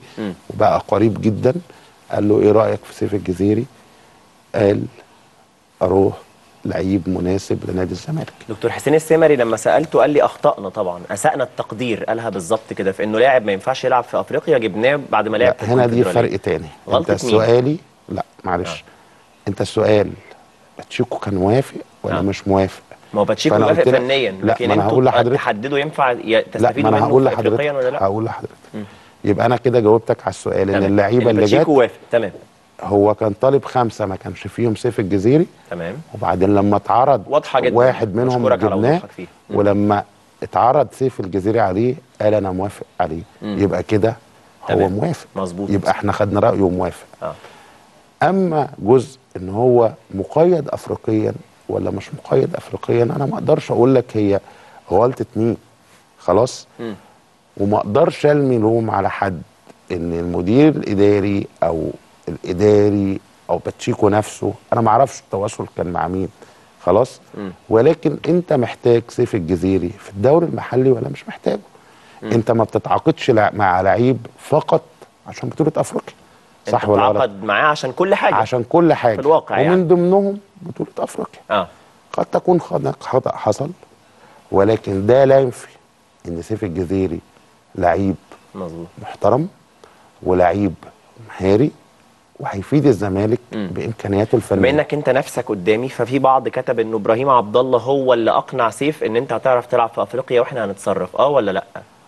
أنا هقول حاجة أنا مش بحب أدافع على نفسي يعني. هو مجرد مش مش مش اتهام قد ما الناس كتبته فأنا بسألك يعني. أنا سيف الجزيري.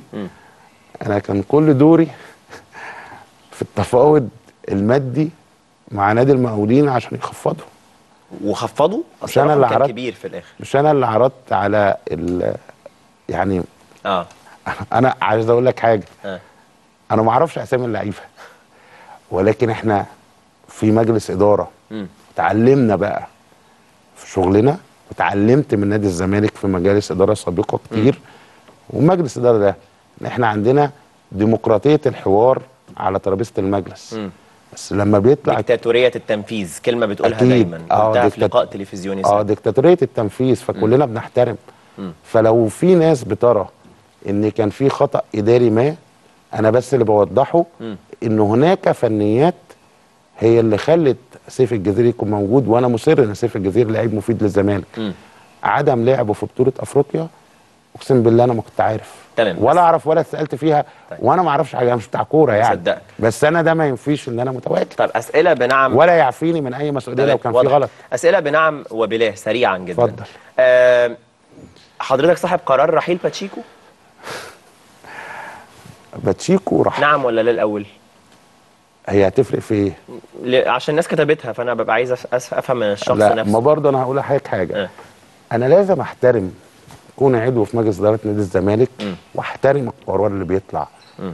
وما يتم تدو... مناقشته في مجلس. الإدارة المفروض ما يطلعش يتحملوا الجميع والمفروض ما يطلعش باتشيكو كان ضعيف كشخص بمعنى ضعيف إيه؟ ضعيف ما بيعرفش يسيطر على الفرقة لا اللي أنا أقدر؟ أقوله لك أنا برضو ما أقدرش أعيب في مستر باتشيكو يعني بس أنا اللي أقدر أقوله لك وجهة نظري بقى كرياضي. إن إحنا ما كناش بنخسر فنيا كنتوا بتخسروا إيه؟ أنا كنت شايف ع... أنت بتخسر أوضة لبس أوضة لبس مفيش انضباط المسؤول عن الانضباط مين؟ باتشيكو ولا إدارة الكرة؟